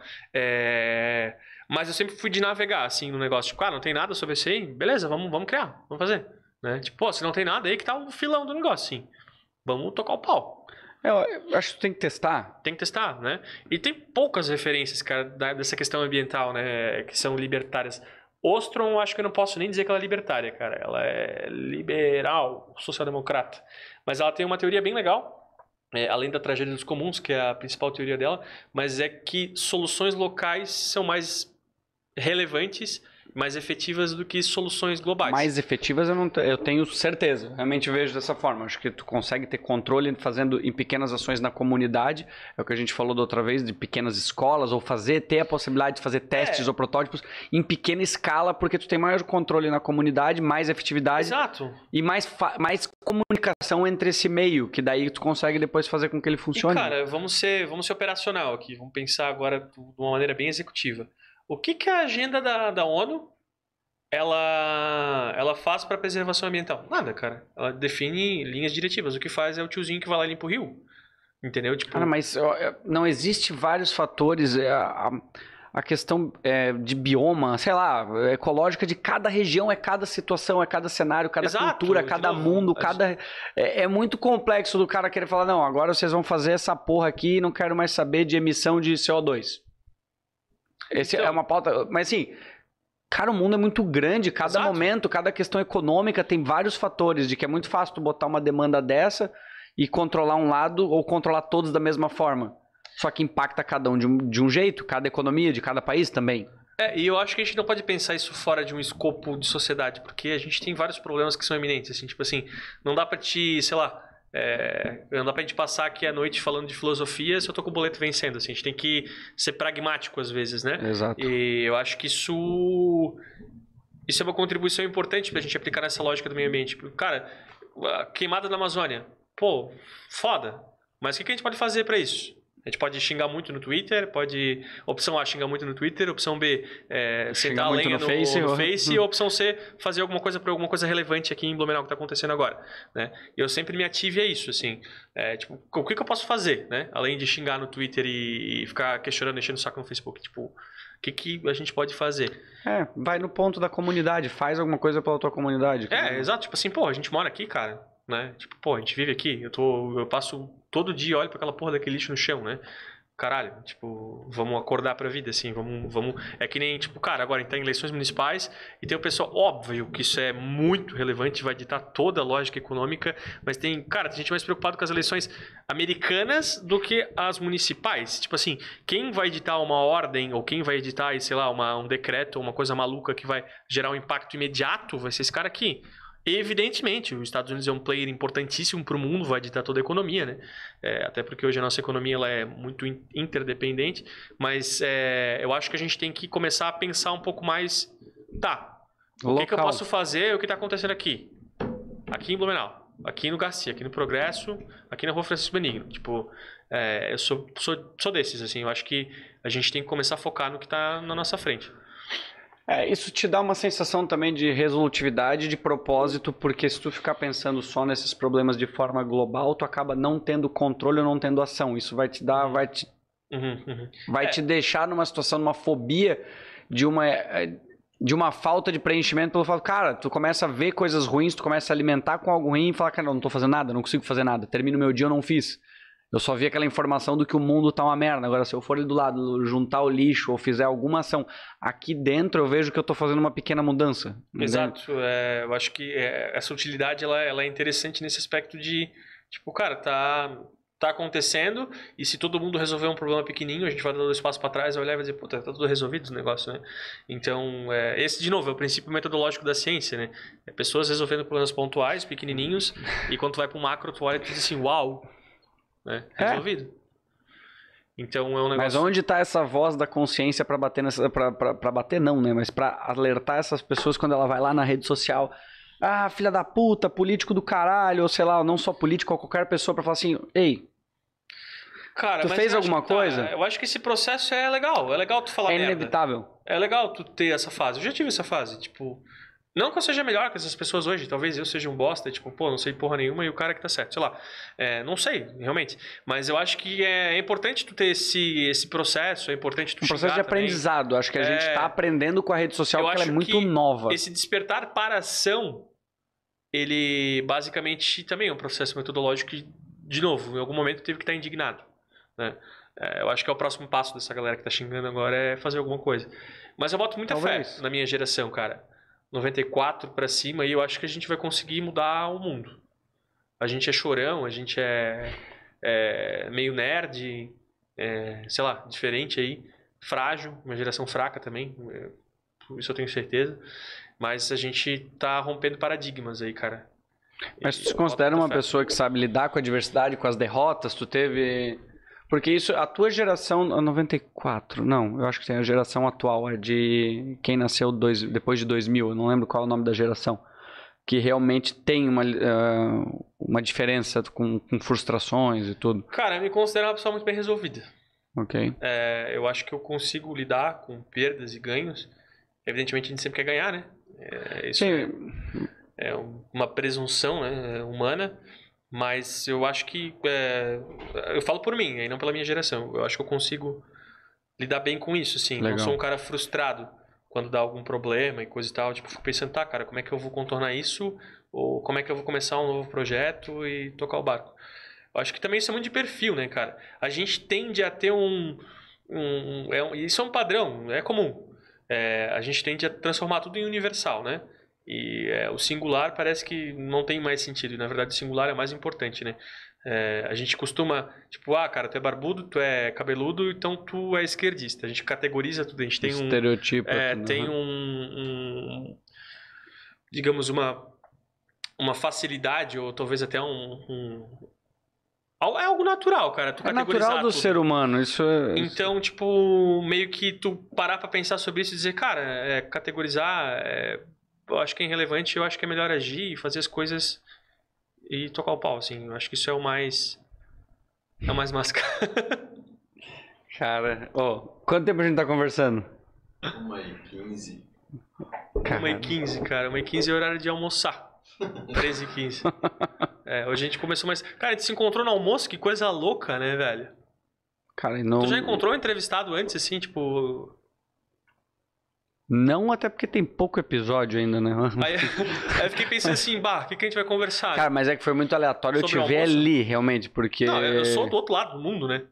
É, cara, isso que. É, cara, campanha é um negócio extraordinário. Tu tem umas experiências animal, assim, ó. Tu vai nos lugares que tu nunca imaginou. Tipo, nunca imaginei estar lá. Tipo, pô, eu vou almoçar lá. Sei lá, eu sou bem fast food, assim, tipo. Engraçado, por que, que se tu, por quê? Tu não, Porque, tu, cara, é. tu aí se que tá, preocupa com o meio ambiente, com o mundo, mas tipo, e é, tu? com- é, pois é, cara. Aí que tá. Eu acho que eu preciso se preocupar mais comigo. 2021 meta de vida. Eu sou bem, tipo, cara, tocando a vida, fazendo as Começa coisas. já, começa amanhã já. Tá, não vou. Obrigado, mas não. Cara, é porque, sei lá, eu tenho outros valores, cara. Eu gosto muito de fazer as coisas pra mim, tá ligado? Mas, me evidentemente, me cuidar seria uma coisa nesse sentido. Mas, sei lá, eu gosto de estar com os meus, meus amigos, tomar uma cerveja, Mas tu pode falar fazer isso. besteira. Mas tu pode fazer isso, isso não te impede de ser não, saudável. Não impede. Ele tá fazendo uma análise quase aqui, cara. Bah, Não, mas eu só tô pensando. É porque, cara, eu, eu, eu encho o saco às vezes com isso, eu, eu falo desse assunto, porque, cara, o Hilário me conheceu. Eu, há quatro, fit há chato? quatro, cinco anos atrás. Não chato. Eu, eu, cara, eu era assim, ah, nossa. Eu vi teu prato, cigarro, saladinha. bebida, eu, eu fumava uma carteira de cigarro por dia, bebia direto, só comia porcaria. Nossa, minha expectativa de vida era uma merda. Só que daí depois eu acabei, eu, sei lá, mudou. Hoje eu sou, tipo, cara, faço exercício todo dia, me alimento bem e tal. Não fico enchendo o saco de todos, quer dizer, lá enche o saco pra caralho. Né? Enche o saco. Mas, cara, assim, é um processo. Não adianta também eu querer falar, ah, amanhã começa frango, batata doce e academia. Cara, não dá. Isso Não, vai é te gerar uma é um frustração fodida. E toda vez tu vai assimilar que exercício é uma merda, porque tu, ah, vou começar a fazer. Cara, ninguém. Cara, raras exceções. Da noite pro dia mudam os hábitos de forma tão drástica. Então, daí, sei lá, se tu for mudando um hábito por É, vez Eu acho que fazer. tem alguns gatilhos, né? Tipo, pô, eu jogo futebol já, então eu já pratico um esporte, né? É, É só tipo, pá, vamos intensificar isso aqui, vamos cuidar da alimentação e tal. É. Mas eu acho que, cara, tudo deriva de uma motivação, né? Tipo, pá. Óbvio, cuidar da tua saúde e preservação Tu da tem vida, uma né? boa motivação, depois eu vou falar sobre. Não, vamos deixar quieto. que bosta, cara. É, é, Até pra, Tem umas pra- quatro vezes que me surgiu assim. eu- Até pra esclarecer, né, cara, pra quem tá ouvindo a gente agora, é, quem vir aqui conversar com o Rodrigo, é, a, Não gente estabelece, a gente estabelece alguns critérios que a gente não quer falar no início, mas isso não é respeitado. Não, eu não tô falando sobre, mas não quer dizer que eu não posso aproveitar. venho assim. Não, cara, mas é, eu acho que, bah, falar de coisa aleatória assim é um negócio da hora, cara, e teu espaço oportuniza isso. É, é difícil, né? Hoje a gente fica naquela formalidade, cara, que eu tô me sentindo, meu, mega em casa. Que bom, eu fico Tô- feliz. É, eu tô falando até tipo, eu não sei qual que é a tua impressão, mas eu não sou um bom orador. Eu me considero. Porra, como não? Cara, eu me considero assim. Por que eu, não? Quando eu tô falando aqui contigo, não. Mas quando eu tô em situações mais formais, a gente é, acaba se regrando um pouco mais. A gente não, não é o que é, é, de fato, né? E tem até um certo estigma com isso, né? Tipo assim, ah, eu preciso ser mais formal, eu preciso. É porque, cara, quando tu, tem 26 anos e tá construindo uma carreira, Cara, assim. tu é bem jovem, 26 anos, É, é, verdade. Bem jovem. Só tem a cara de acabado, só a lata, é, né? tá surrado, mas Não, surrado, bem. né? Mas tem o meu valor. Não, brincadeira. É... Judiou, judiou pra caralho, cara.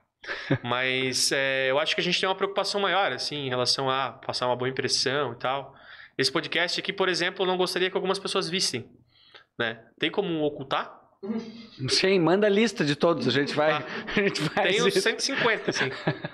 Cliente tal, amigo, gente que eu respeito, assim. Porque, cara, eu não falo assim com todo mundo. Né? E eu sou isso aqui, que eu tô falando contigo Mas, hoje. é, cara, sinto- tá ligado aquele programa que tinha do. Como é que é o nome daquele maluco que morreu, cara? Bah, eu sou. sou ruim pra nome, cara. tá, mas como é que era o programa? Aquele programa que passava na TV Cultura lá, Provocações. Não cheguei a conhecer. Cara, eu achava aquele negócio foda, porque, tipo assim, as pessoas iam lá e eram o que eram. Porque o cara ficava enchendo muito saco, perguntando umas coisas controversas, assim. E tu devia mudar. Sapiens É, pra- pra-. Cara, mas é que assim, ó, qual que é o ponto disso? O que, que é o legal? Eu acho que foi um desafio também inicial, porque, porra, eu tenho negócio, eu tenho empresa, invisto em negócio, pô, eu tava com um pouco de receio. Mas ao mesmo tempo, cara, a gente precisa de um ambiente que tu possa ter liberdade pra ser quem tu é. E no fim, todo mundo quer ver isso. A gente só tem essa porra desse receio. Tem. As tem pessoas valorizam isso. Porque tem um monte de gente que quer falar o que tu tá falando e fala exatamente da forma que tu fala, mas às vezes não tem coragem. E, cara, o que que muda, porra? Muda É, nada. Pois é, e tipo assim. não te deixa menos competente, só te deixa com mais coragem pra falar as coisas. Porque, cara, ninguém tem como saber tudo. Algumas coisas aqui que tu falou, que se fosse qualquer outra pessoa que, sei lá, é candidato a alguma coisa e falar, não, não posso falar isso, porque eu não posso ter certeza, não posso dizer que eu não tenho certeza disso, não sei o quê. Cara, vai tomar no cu. Que me odeio político, eu tenho certeza disso aqui. Não tenho Cara, certeza de porra nenhuma. Eu não tenho certeza de nada no mundo que a gente vive. hoje. Cara, eu acho que é, esse é outro motivo de eu ser libertário. Sabe por que, que eu, é, eu li Mises, assim, eu li Ação Humana, que é um livro que eu te indico, inclusive. Pra mim foi. Cara, Ação Humana é a Bíblia de qualquer libertário. É, o cara faz basicamente isso com economia. E o.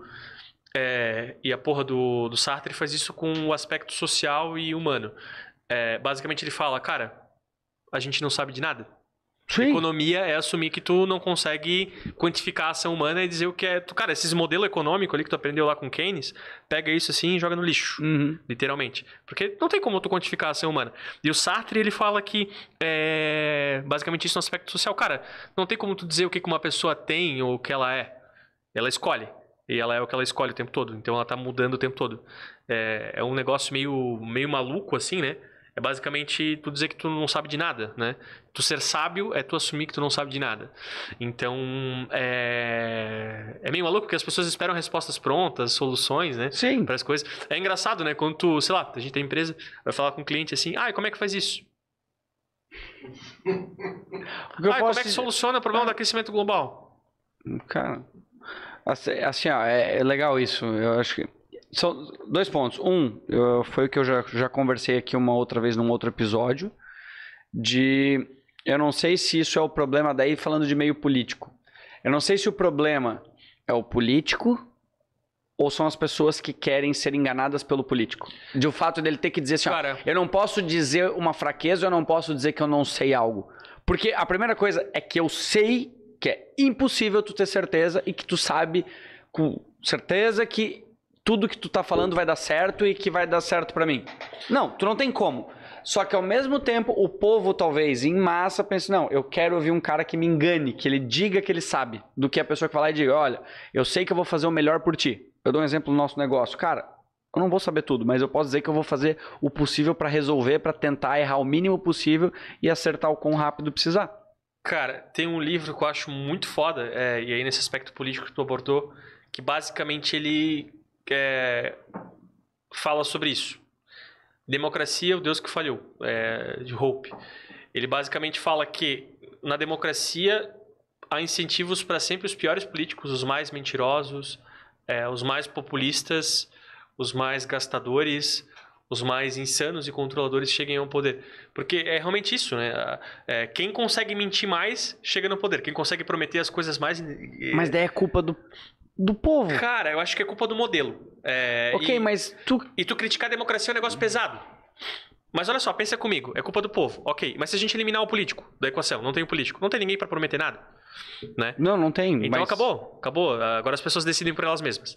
Sim, mas aquela pessoa, eu acho que tá, acho, minha opinião, que é um processo evolutivo. As pessoas agora estão começando a perceber que por ter acesso mais à informação, para a gente estar tá falando mais sobre política uhum. ou sobre o, o mundo em si, é, tu está começando a perceber que não existe esse, esse negócio de, de, de um Deus, e que Deus, tirando religião, da, da, pessoa é perfeita, de que aquele cara, o grande empreendedor, ou aquele político é uma pessoa que sempre faz tudo certo. Não, cara, as pessoas são meros humanos que erram. Eu acho que a, a, a uma camada da população está começando a perceber um pouco mais é, isso. Eu acho que esse é um fator, mas eu estava pensando aqui, como estava falando, em equacionar esse problema, né? Vamos equacionar isso aqui. Vamos colocar aqui A. É, a gente tem de um lado as pessoas que acreditam na mentira e tem do outro lado as pessoas que mentem. Né? Se a gente eliminar dessa equação as pessoas que mentem, as pessoas que acreditam na mentira, é, elas vão ter que acreditar em outras coisas, vão ter que acreditar nelas mesmas. Não vai ter tá. alguém tomando decisão por elas, né? Eu acho que a gente eliminando essa variável já mas seria... Esse, mas esse é o ponto a gente não consegue eliminar do nada. A gente é um processo de adaptação. Qual vai ser o político hoje que consegue, sei lá, um presidente vai lá e fala, cara, que, sei lá, tu vê um presidente chegando e falando, não, eu tenho dúvidas sobre isso, ou, eu acredito nisso. Porque os caras podem dizer assim, ah, eu não tenho certeza, eu acredito que isso aqui é o melhor caminho. Hoje eu não vejo um político conseguindo falar isso. Se a gente estivesse falando, sei lá, em é, eleições presidenciais, porque... eles têm que ir lá e falar: não, eu Exato. sei, essa Exato. é a porra e eu acredito. e eu não acredito, eu tenho certeza. Foi cultuado esse estereótipo e a democracia incentiva que esse estereótipo seja reforçado, porque tu sempre elege a pessoa que tem a capacidade de resolver o seu problema, né? E é, o político mais honesto possível seria o político que fala assim: cara, eu não consigo resolver o teu problema. Eu sou esse político. Né? Eu falo para as pessoas assim: ah, cara, é... e meu asfalto e sei lá o que, a UPA que o cara prometeu construir. Cara, não vai rolar. Isso não existe, né? Ah, e como é que a gente vai gerar emprego? A gente não vai gerar emprego. Não vai. Não é assim que, que funciona. É, é muito Estado... mais complexo o problema do que tu está querendo dizer. O que o Estado pode fazer de melhor é deixar de atrapalhar as pessoas, né? Sim. E é, eu acho isso um pouco contundente e vale destacar, porque quando tu critica a democracia, automaticamente tu defende ditadura, né? Tem esse, essa dicotomia, essa falsa dicotomia. E, cara, eu sou, eu sou radicalmente contra a democracia e sou radicalmente contra, mais radicalmente contra ainda a ditadura. Porque, cara, não tem esses dois modelos apenas, né? Eu sou libertário. Eu defendo que as pessoas decidam por elas mesmas, né? Tá. É, a democracia é basicamente o porquinho, o, sei lá, o galo e a vaca decidindo quem vai, qual que vai ser o jantar, né? E, então, se, a, se o galo e a vaca decidem que vai ser o porquinho, oh, democracia, né? Tipo, uau, né? o cara vai ser jantado agora. Então, é, é um negócio meio bizarro, assim, né, cara? Eu, bah. O Rafael Lima acho que falou sobre isso, eu não vou me alongar, que é um tema... É, mas enfim, eu só queria que as pessoas que estão nos assistindo e ouvindo, elas entendessem que não existe democracia e é, no, no outro lado ali a, a ditadura, né? Há alternativas. E, cara... Mas você entendeu que o que o meu ponto, o que eu queria dizer é o que tu é hoje. Tu acabou de falar, tu, tu é o cara que vai ser honesto e vai ser transparente, que tu quer resolver o problema, mas não é tão simples, não vai vender uma, uma, uma ilusão. E hoje o povo gosta de, ah, talvez não o povo, a maioria que define às vezes uma eleição quer ouvir uma ilusão talvez precise de mais pessoas, às vezes, ou mais políticos surgindo, que talvez é, não convençam a maioria ainda, uhum. para começar a fazer esse processo de mudança e amadurecimento do povo para entender que não existe é, o herói, a jornada do herói maravilhosa. Nenhuma história maravilhosa, ninguém é excepcional tanto assim, independente de quantos seguidores tem ou qual seja o tamanho do seu negócio. É que se a gente for analisar a gene do problema, na verdade, a gente vai sempre esbarrar em educação, né? Porque basicamente é, as pessoas elas é, atribuem algo fantasioso a um político porque é o repertório que elas têm, né? Elas não foram educadas no sentido de que é, e também elas não não estão erradas de não serem educadas é, nesse sentido. Eu acho que, cara, tipo, pô, sem tempo, irmão. Sei lá, eu tenho que fazer caneca. Sim, as pessoas não têm tempo para isso. Tenho que fazer sim. outra coisa, assim, sei lá, tipo, isso não é interessante. É que, cara, todo mundo, eu, eu, eu cheguei nessa conclusão, todo mundo é saturado de política e, cara, a maioria das pessoas é libertária e não sabe. A, a imensa maioria das pessoas, tipo assim, é, cara, eu sempre pergunto, cara, quem gasta melhor o teu dinheiro? Pega o teu, o teu salário. Tu que gasta ou tu dá pro Estado gastar? Ah, porra, que, que pergunta idiota é essa? Eu que gasto, né? Hum, então, se é a gente. assim. É, e se a gente pegasse aqueles tributos que são recolhidos de, de, por curso forçado e botasse na, na tua mão, assim, né? É, aí sim tu gastaria integra, a, a, de maneira integral o teu salário, né? Ou se o teu patrão não tivesse que é, ser onerado com cargas tributárias pesadas, vou tossir. É, acho que eu achei legal Avisar, é. é, mas. Então, tipo, cara, poderia, a gente poderia ter mais dinheiro na mão, mais dinheiro circulando, a gente tá decidindo, né, que a gente tá investindo, né? Porque é aquela coisa, o que eu fico mais frustrado é quando a pessoa fala assim, a gente tem que defender o SUS, porque o SUS é universal, ê, legal. Tá, beleza, o SUS é universal, mas ele é de graça, porra. Tipo, cara, é, custa, a gente paga o SUS, né? E se aquele dinheiro que vai pro SUS, que é ineficiente, voltasse para mão das pessoas, e as pessoas pudessem decidir aonde investir o dinheiro. Eu não sou nem, nem a favor do final do SUS. O SUS poderia Uhum. continuar existindo e concorrendo, né? Se tu for bom, se tu for cabra, cabra bom, tu vai ficar, bah, vai lá, compete aí, Uhum. vamos ver, né? Então, é... é um negócio bizarro, né, cara? Tipo, tu não pode escolher, né? Sim. Tipo, as pessoas advogam pelo direito de não escolher, né? É, direito também é um negócio bizarro, né? Tu fala assim, ah, eu tenho direito, ah, eu tenho direito à, à educação, ah, eu tenho direito... Cara, pra mim, direito só existe direito negativo. Tu tem direito à vida e à propriedade. Tem direito de alguém não tomar alguma A tua coisa de ti, alguém não te agredir, alguém não, é, é, não subtrair um bem teu, né? Um direito positivo, ele sempre implica num dever, né? Por exemplo, ah, se eu tenho direito à educação, então significa que a Dona Maria, o seu, é, a, a educação superior, por exemplo, a federal, é, então significa que a Dona Maria e o seu João que não vão para federal, que os filhos dele não vão para federal, que os netos não vão para federal, eles têm que financiar o teu direito à educação. Tu que é um playboy metido, que estudou na escola particular a vida inteira e agora passou no, no vestibular da federal. What? Tipo, ser libertário. É, Quer mais água? Tem é, água ali? Cara, tem água aqui, verdade. Ah. Bota mais água aí pra nós, cara. No meio do vídeo aí mesmo. Dá nada. O do Irineu, ele foi mijar enquanto a gente tava É? conversando. Ah, o Irineu, né? É uma lenda.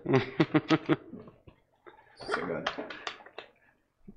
Cara, então, mas tu ser assim- libertário não é tu ser um cuzão, entendeu? Tu ser libertário é justamente o contrário disso. É tu ser uma pessoa que, bah, eu penso em eficiência, eu penso em resultado, né?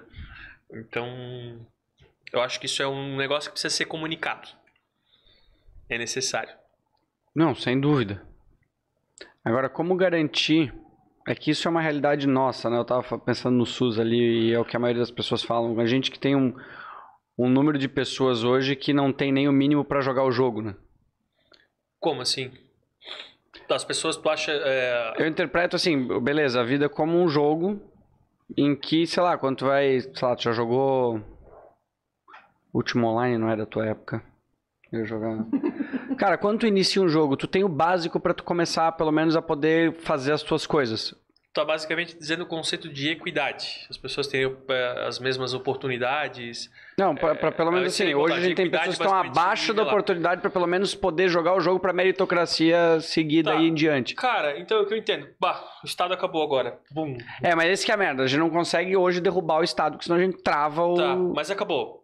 Pessoas não têm condições de fazerem as coisas, são pobres, miseráveis. O que, que vai acontecer? As pessoas automaticamente vão ter mais a capital acumulado, vão ter mais dinheiro acumulado. É, Os custos vão baixar, porque a regulação vai deixar de existir, o que é, prejudica toda a ordem econômica é o Estado, né, por, por definição, e impedindo, enfim, criando regulação e tal. Porque, cara, qual que é o incentivo do mercado? É sempre baixar o preço e ser mais eficiente Sim. possível. Não, Esse é o incentivo concordo. do jogo. Cara, tu pensa, as pessoas vão ter mais dinheiro sobrando. É, o ser humano tem uma tendência a ser caridoso, cara. E isso eu, eu- eu vivenciei na prática. Eu vim de entidade. As pessoas se comovem com histórias de outras pessoas, né? E elas empregam recursos naquilo. É, e aí tu pode dizer para a caridade não seria suficiente? Talvez não seria suficiente. É, mas eu, eu, eu, sempre parto do princípio que uma cidade é uma cidade, um mundo mais livre, com mais capital acumulado, e as pessoas podendo decidir onde é que elas vão aplicar o seu capital, eu acho que seria. Não, eu concordo. É, é, mas é que usando o exemplo de como o Estado deixa de existir, eu acredito que em um momento ele se regularia. O ser humano evolui e ele dá um jeito para qualquer adversidade, seja o indivíduo ou seja a sociedade Cara, é, como um todo. Isso é darwinismo puro. É né? simples. Agora, se, se tu acaba com o estado da noite pro dia, claro, vai ter um período ali que muitas pessoas vão sofrer por causa disso. Sim, mas... Até tu se... Ok, inevitável, ah, é. Mas é mais fácil se a gente fosse pensar, vamos sonhar aqui, o, tu teria que fazer uma transição disso, né? Seria mais fácil. Cara... Em pequenas comunidades. Talvez em pequenas doses tu povoando. É, com... eu, eu, eu sou um gradualista, sou um libertário gradualista. Eu acredito que. Que seria é, isso que eu tô falando, é isso? Basicamente essa ideia, né? Não essencialmente, mas basicamente essa ideia. Eu acho que é, até como método de, de conseguir uma sociedade sem Estado, eu acho que é, que é muito mais efetivo a gente por vias é, é, é, porque assim, vamos lá. Como é que eu acho que a gente vai chegar no Ancapistão? Ancapistão é uma gíria do, da galera que é libertária e todo mundo fala, tipo, ah, vai ter um país, um país privado chamado Ancapistão. Não sei se vai, mas é uma gíria. É... Eu acho que a gente vai chegar num Ancapistão quando a tecnologia ela garantir para a gente que a gente tem um, um custo é, relativamente mais baixo dos serviços ofertados pelo Estado do que propriamente o Estado fornece. Por exemplo, se a gente daqui a pouco é, tiver, sei lá, uma tecnologia tipo Uber de saúde, uhum. sei lá, pensei loucamente. Ok, mas é, entendi. Tô... Um, cara, sei lá, sei lá, uma saúde a 20 pila, uma educação a 20 pila, tudo a 20 pila. Eu gosto de 20 pila. é, daqui a pouco as pessoas vão começar a coçar a cabeça e pensar assim, bah, pra que, que eu pago imposto mesmo? Eu acho que, cara, é, a gente vai conseguir chegar na sociedade livre através do, da tecnologia. É inevitável. Para mim, Sim, a gente okay, vai chegar concordo. através da tecnologia em algum hum. ponto que a gente vai questionar, tipo, bah, não precisa do Estado mais. É, e eu acho que, enquanto libertário e método, é, atuando na política, garantindo que inovação e que Uber não seja regulamentado em Blumenau, como é, ano passado, esse ano passado teve um projeto para tentar regulamentar o Uber, é, como outras tec buzzer, como outras tecnologias não sejam impedidas de cumprir o seu curso natural, eu acho que essa é uma atuação interessante a e falta. a gente vai é, gradualmente transicionar, né? Porque vai ter de novo uma disponibilidade de tecnologia que vai suprir as necessidades é, do Estado ou vai universalizar o um atendimento, é, o próprio mercado vai é, a, identificar como um filão, né? Pô, prevendo o mercado, prevendo ação humana, que bosta, né? Eu sou contra isso. Mas eu acho que naturalmente vai ter essa tendência, por exemplo, assim, ah, as pessoas que não têm condição de ir para a escola, moradores de rua, as próprias empresas vão adotar políticas é, privadas de garantir escola para essa galera. Para a empresa passar, olha só como eu sou legal, eu estou fazendo isso aqui, ó. Concordo. Para o consumidor. Mas então, esse é o ponto que eu, que, né? é, eu vai de encontro com o que eu estava pensando. Acho que eu, tu, só, tu usou o termo certo, que eu não sabia, o gradualista, e com pequenas ações na comunidade para poder começar a ter comparativos. Eu acho que hoje o Estado impede a chance de eu ter comparativos em algumas o funções. O Estado impede concorrência. Eu acho que essa é, é a, a, concorrência. É, ou seja, mas quando eu consigo fazer isso em pequenas comunidades, o que eu digo? A gente falou lá, fazer o MVP em pequenas operações. Com isso eu consigo ter um certo controle. É, e consigo. É rigoroso, isso é notório, né?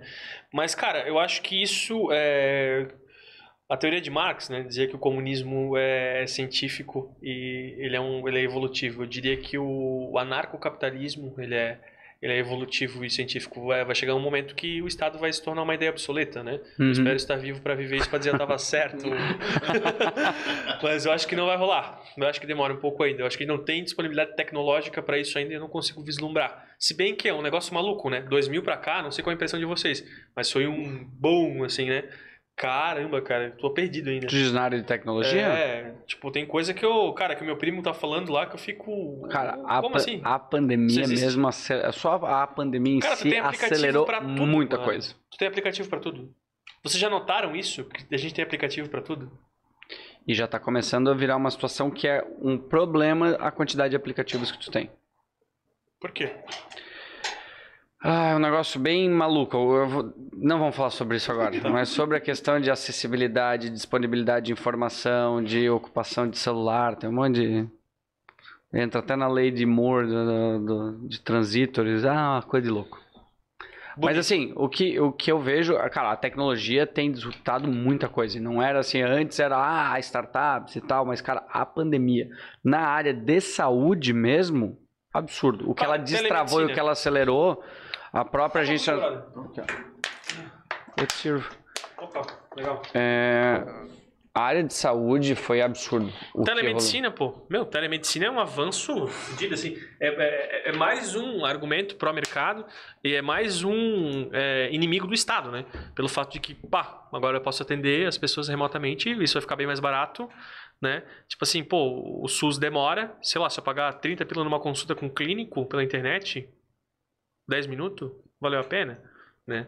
Então eu acho que a nossa atuação, especialmente no legislativo, eu sempre digo, o libertário ele tem que ir pro legislativo. É, eu acho que é ali que a gente começa a tratar matérias sérias, né, que impactam é, a vida das pessoas, porque basicamente todas as regras, a função do legislativo é legislar e fiscalizar, né? Então elas são criadas na Câmara. Evidentemente tem algumas iniciativas que partem do executivo de projetos de lei, né? E evidentemente seria é, bom, né? É, libertários também no, no executivo, mas eu acho que é, é mais fundamental ainda a gente ocupar essas posições no legislativo. E, cara, tem um negócio que é uma autocrítica fodida aos libertários que nos escutam agora. A gente tem que estar presente também em outros ambientes, não só na política. É, e não só no Facebook, e não só nos grupinhos lá, enchendo o saco e falando de roupa Como quais? como empreendendo, né, criando alternativas ao Estado, criando é, tecnologias e alternativas. É, no meio acadêmico, a gente precisa ter produção acadêmica também, isso eu sinto muita falta. Eu acho que eu sou um dos poucos libertários que tem esse interesse acadêmico. É, Fala-se muito sobre a é teoria de Gramsci, também. por, por isso que existe tanto esse viés ideológico nas, nas Cara, faculdades e esse é tal. um, é um puta negócio conspiracionista, né, cara? Sim, eu não, não curto muito. muito. essa linha, tá ligado? Eu sou meio que tipo. Ah, o Estado é um, é um projeto perverso, ok. Ele tá sempre tentando é, expandir a sua influência, ok. É, não, não tá ok, né? Mas a gente diz Hum. ok por formalidade. Mas é, eu, eu, eu- sei lá, é, eu concordo em partes. Eu acho que é, o Estado se rearranja para garantir a, a sua vida, né? A gente trata o Estado como Leviatã. É, tu já ouviu essa, essa Nossa, Leviatã, eu lembro da carta de Magic, quando eu jogava tinha carta do Leviatã. eu lembro. A gente fala do Leviatã de Thomas Você jogou. Magic? Não, Deveria. mano. É da minha época? Não, Ah, Magic então, não. então esquece, cara. Não Porra. estar nem disponível mais pra baixar isso aí. Meu, tu tem cara de quem jogava, sei lá, Ragnarok. Não, mano. Pô, ah não, já é velho pra ti isso. É, não, eu, cara, eu não jogava muita Tu não coisa. jogava? Eu jogava banco imobiliário. Eu, eu escolhi psicologia por causa do banco imobiliário. Para. Sério, eu, cara, olha só, eu era criança, eu ia no psicólogo, eu chorava na escola, né? E, é, porra, tipo, cara, o cara tá chorando na quarta série, né? Vai se fuder, assim, vou levar essa criança pro psicólogo, né? cara? Aí, bah, eu fui no psicólogo e eu jogava banco imobiliário no psicólogo. Aí eu falei, puta Qual profissão, psicólogo? né, velho? Puta profissão da hora, na, acho que foi na FURB. Aí, tipo, pô, puta profissão da hora, eu quero ser psicólogo, eu quero jogar banco imobiliário no meu trabalho, né? Pô, da hora. E aí eu fui nessa ilusão aí, meio que depois eu comecei a ler umas paradas e eu comecei a ler Freud. Eu sou uh, Marcelo. Marcelo, cara, é a pessoa mais inteligente que eu conheço, é meu professor. Ele tá junto na minha campanha agora também, é uma pessoa que eu admiro pra caralho, mas eu vou ser obrigado a criticar a psicanálise, cara. É, eu tenho que pedir licença pra ele. Mas, licença, Marcelo, vou criticar.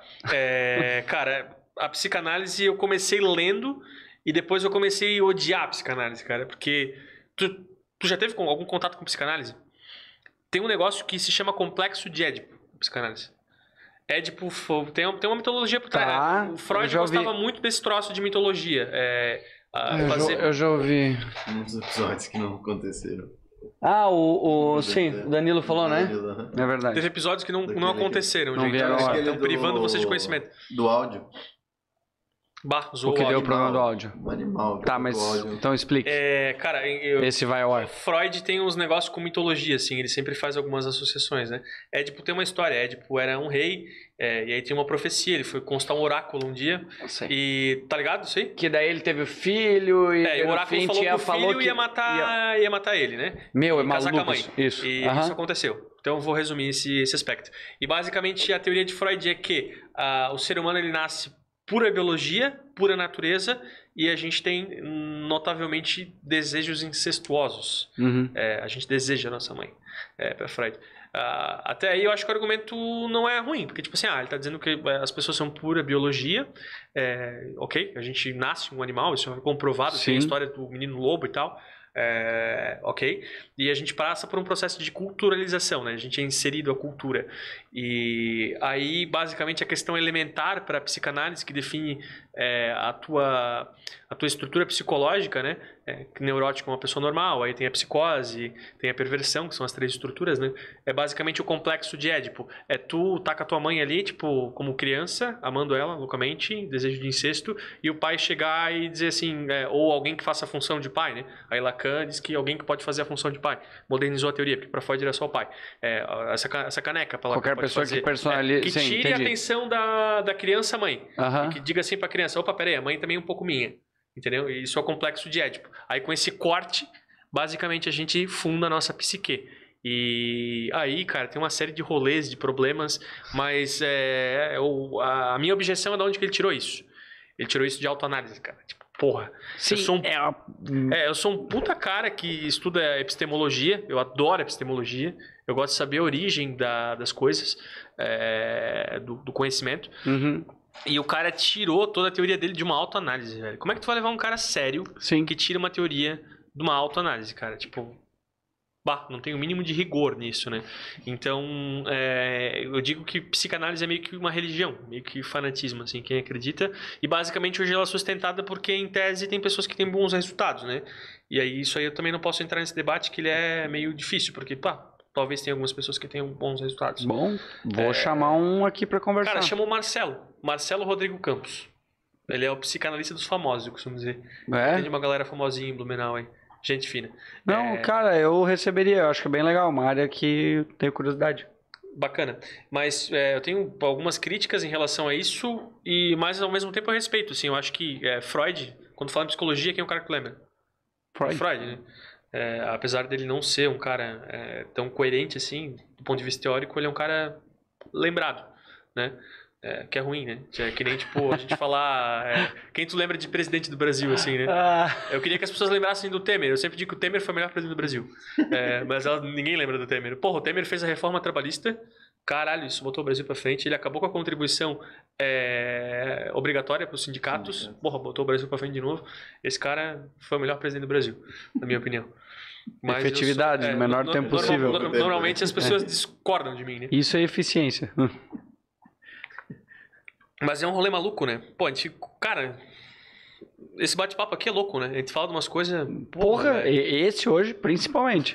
Tu diz, De uma cara. forma muito positiva. Tô, eu tô Mas sendo... é, é maluco assim, normalmente? Ou. Não, não, Não? tem sido. É assim, tem sido para as pessoas. Acho que não teve um que não ficou surpreso de como a gente vai longe e volta. O que é bom, porque a gente tá conversando aqui de novo, cara. eu- enquanto o assunto tá interessante para nós, ótimo. Gente não tem que seguir. Uma entrevista para mim é horrível, é chato. Eu tenho que te perguntar, depois eu tenho que estar pensando em outra pergunta que eu tenho que te fazer. Então, Cara, eu já- gosto do- disso- desse tipo de conversa, entende? Desse E tipo de a minha, a minha experiência de entrevistas é muito ruim, cara. É, eu tive uma certa exposição na época da PPM, tipo, em rádio, TV. Eu participei duas vezes do Ver Mais, da Gisele Scopel, até quando eu conheci ela, ela tá ajudando a gente aí no projeto novo e tal. É, pô, deve ter entregado ela, que eu acho que ela nem anunciou isso publicamente, mas se foda. A Não, Gisele ela tava tá- aqui, a Gisele volta 30. Ela veio aqui esses dias. Não, ela tava É, aqui. E, cara, é. Muita meio- gente boa. Meio que. é, eu fui duas vezes no programa dela. Daí quando me apresentaram pra ela, ah, Gisele Scopio aqui e tal. Eu falei, não, já fui duas vezes no programa dela. Ela falou, ah, o Mike já foi lá e tal. E então, tipo, cara, eu sempre tive uma exposição mais dessa mídia tradicional. Eu sempre quis gravar um podcast ou ir numa parada que a gente pudesse falar merda. Ela Tá tava sentada aqui enquanto a gente tava gravando o episódio e eu tava falando sobre isso, porque quando a pessoa tá num programa de entrevista. Cara, existe. mega É, uma formal, né? operação que existe. Ela é muito mais complexa por trás, porque ela existe patrocínio, ela existe uma operação, ela existe limite de tempo, ela existe o porquê aquele programa tá lá. Aqui não. Aham. Aqui, cara, já não deve nada pra ninguém, então a gente Mas faz o que a gente quiser. Lá no Ver Mais eu me senti bem à vontade, cara. Não, acredito eu- que sim, O lugar mas- que eu mais me senti desconfortável foi na TV Galega. Mas eu tenho certeza, antes assim, sobre ela, que ela talvez gostaria de fazer outras coisas, de fazer outras perguntas, não que tenha sido Ah, não, ruim, claro, mas claro, entende? claro, existe uma limitação Mídia que o meio é. O meio te impõe. Não, claro, a Gisele é uma pessoa fantástica. É, mas eu digo que o meio da mídia tradicional, assim, é muito chato, né? Uhum. É, é uma exposição diferente, né, cara? É aquele negócio quadradinho, né? Fale sobre esse tema que tu veio aqui hoje.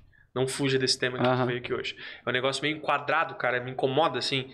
E, bah, por isso que eu sempre tive uma vontade louca aí de fazer um podcast ou um negócio, tipo, disruptivo, sei lá, uma live. Não consigo pensar em outro formato disso acontecer, assim, né? Mas mídia tradicional é um negócio bizarro, né? Porque tu não é o que tu é, cara. Quem disser que é o que é, tá mentindo, assim, cara. Eu sempre tive exposição no sentido de, ah, falar sobre um trabalho institucional da PPM, ou sei lá, falar sobre a minha ação lá do meio ambiente, ou falar sobre alguma coisa é, específica, mas tu nunca fala sobre o que tu é e, e como tu chegou naquelas considerações, assim. Eu Exato. acho que é o mais interessante pra galera, né? É, tipo, pá, tu é libertário, mas por quê, né? Por que tu tá falando essas merda aí? Tipo, É, mas é, qual que é o- um dos pontos que eu gosto disso e é antes eu consumi o conteúdo do, do Joe Rogan que eu coloco, mas por exemplo, se daqui a pouco sai uma notícia, Mike isso, tipo alguma polêmica tua, cara, aquele trecho daquela notícia ela vai estar específico daquilo, o próprio headline, como é que é a porra do, do, do tópico já vai ser tendencioso e vai ter um trecho falando só sobre aquilo. Ninguém vai saber exatamente quem é o Mike por causa daquilo. ou o contexto. É, vai pegar aquilo lá e, cara, aquilo ali define muito do que as pessoas vão interpretar e vão te julgar, sendo que não é uma É, verdade. porque a gente. aqui moldura não, aqui eu tô aqui conversando contigo, eu sei. Exato. Ah. Não sei exatamente quem tu é, mas muito mais do que uma porra de uma notícia. Com certeza. Eu acho que a gente, a mídia tradicional tem uma tendência de emoldurar pessoas. Emoldurar no sentido de jogar num quadrinho e é isso ali. É isso aqui, ó. Pá, tá aqui nesse quadro aqui essa pessoa. Ela não é nada mais, absolutamente nada mais do que isso. Ela é o que ela tá nessa moldura aqui e fechou, assim. Tipo, tu categoriza, né, cara? É, é bizarro, né? Porque, tipo assim, tu tem que ser uma pessoa que é conhecida por aquilo. É, hoje eu vim aqui porque, bah, é, tem um trabalho relevante no meio ambiente, no, sei lá, no, no aspecto social e tal, mas tá falando de mil outras coisas diferentes, assim, né? O que é inusitado, né, cara? Porque normalmente, Sim. tipo, tu só fala do que tu é referência.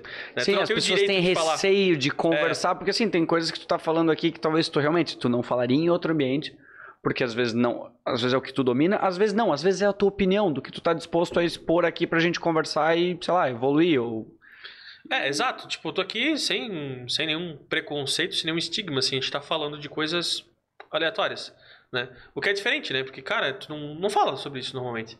É um negócio bizarro, né? E eu tinha problemas, cara, de me expor dessa maneira um tempo atrás também. Eu era um cara que ficava pensando muito, ah, o que, que as pessoas vão pensar de mim, né? Qual que é o recorte que elas vão ter, né? Até se isso aqui saísse antes da eleição, velho, eu acho que eu ia- não ia falar metade do que eu tô falando aqui agora. é, não, papo sério. É, a gente toma um certo Ainda bem cuidado, que né? tá ao vivo aqui, ele Fudesse minha vida, né, cara? Não, mas é, é um negócio engraçado, né? Que, é, não sei, eu, eu, eu me cobro, né? Em determinadas situações, né? E eu acho que a gente tem que se cobrar menos, cara. A coisa tem que começar a fluir mais naturalmente. Assim que despertam boas ideias, né? Eu sempre digo, cara, nunca vai rolar uma boa ideia. Cara, esse é o princípio do brainstorm. Nunca vai rolar uma boa ideia se tu não falar merda também. Nunca vai rolar uma boa ideia se tu Murilo não... Gun fala muito sobre isso, É. a ótica do humorista pra tu. É, é normal, pô. É, é natural. E as pessoas têm que começar a se acostumar com o normal, com a verdade, com o natural, com no filter, né? Eu acho que isso é, é importante. E, cara, maluco. Cara, eu acho que assim, o que, que eu posso te dizer? A gente vai ter que gravar, a gente vai ter que marcar mais episódios ainda. Pra gente conversar mais sobre outros temas. Cara, vamos marcar. Vai ser um negócio que. Qual que é o teu público-alvo, assim? A galera que chapa o crânio e vai ver o negócio. assim, Não, é nós aqui. O, pu- É. o público é eu e o Hilário. É É, isso? o Kevin vai porque ele é meu sócio, ele é obrigado. Tenho 51% da empresa, né? Cara, Então a gente tem ali uma ação administrativa. público que, é a gente, obriga se as o- pessoas. Se alguém. é, Cara, A minha mãe não vai ver isso, cara. por quê? Porra, vai dar merda. Assim, ela tem uma impressão, pá, diferente, né? Não, ela- acho que ela não sabe que eu falo palavrão. Vamos impulsionar isso. Do jeito outro chega nela. impulsionar pra uma faixa etária de 40, 60, que mora no O progresso. Rua tal. Filha da puta. mas é, mas é, cara, foi muito massa. Muito massa trocar uma ideia. Já tô me despedindo porque eu tô cansado, velho.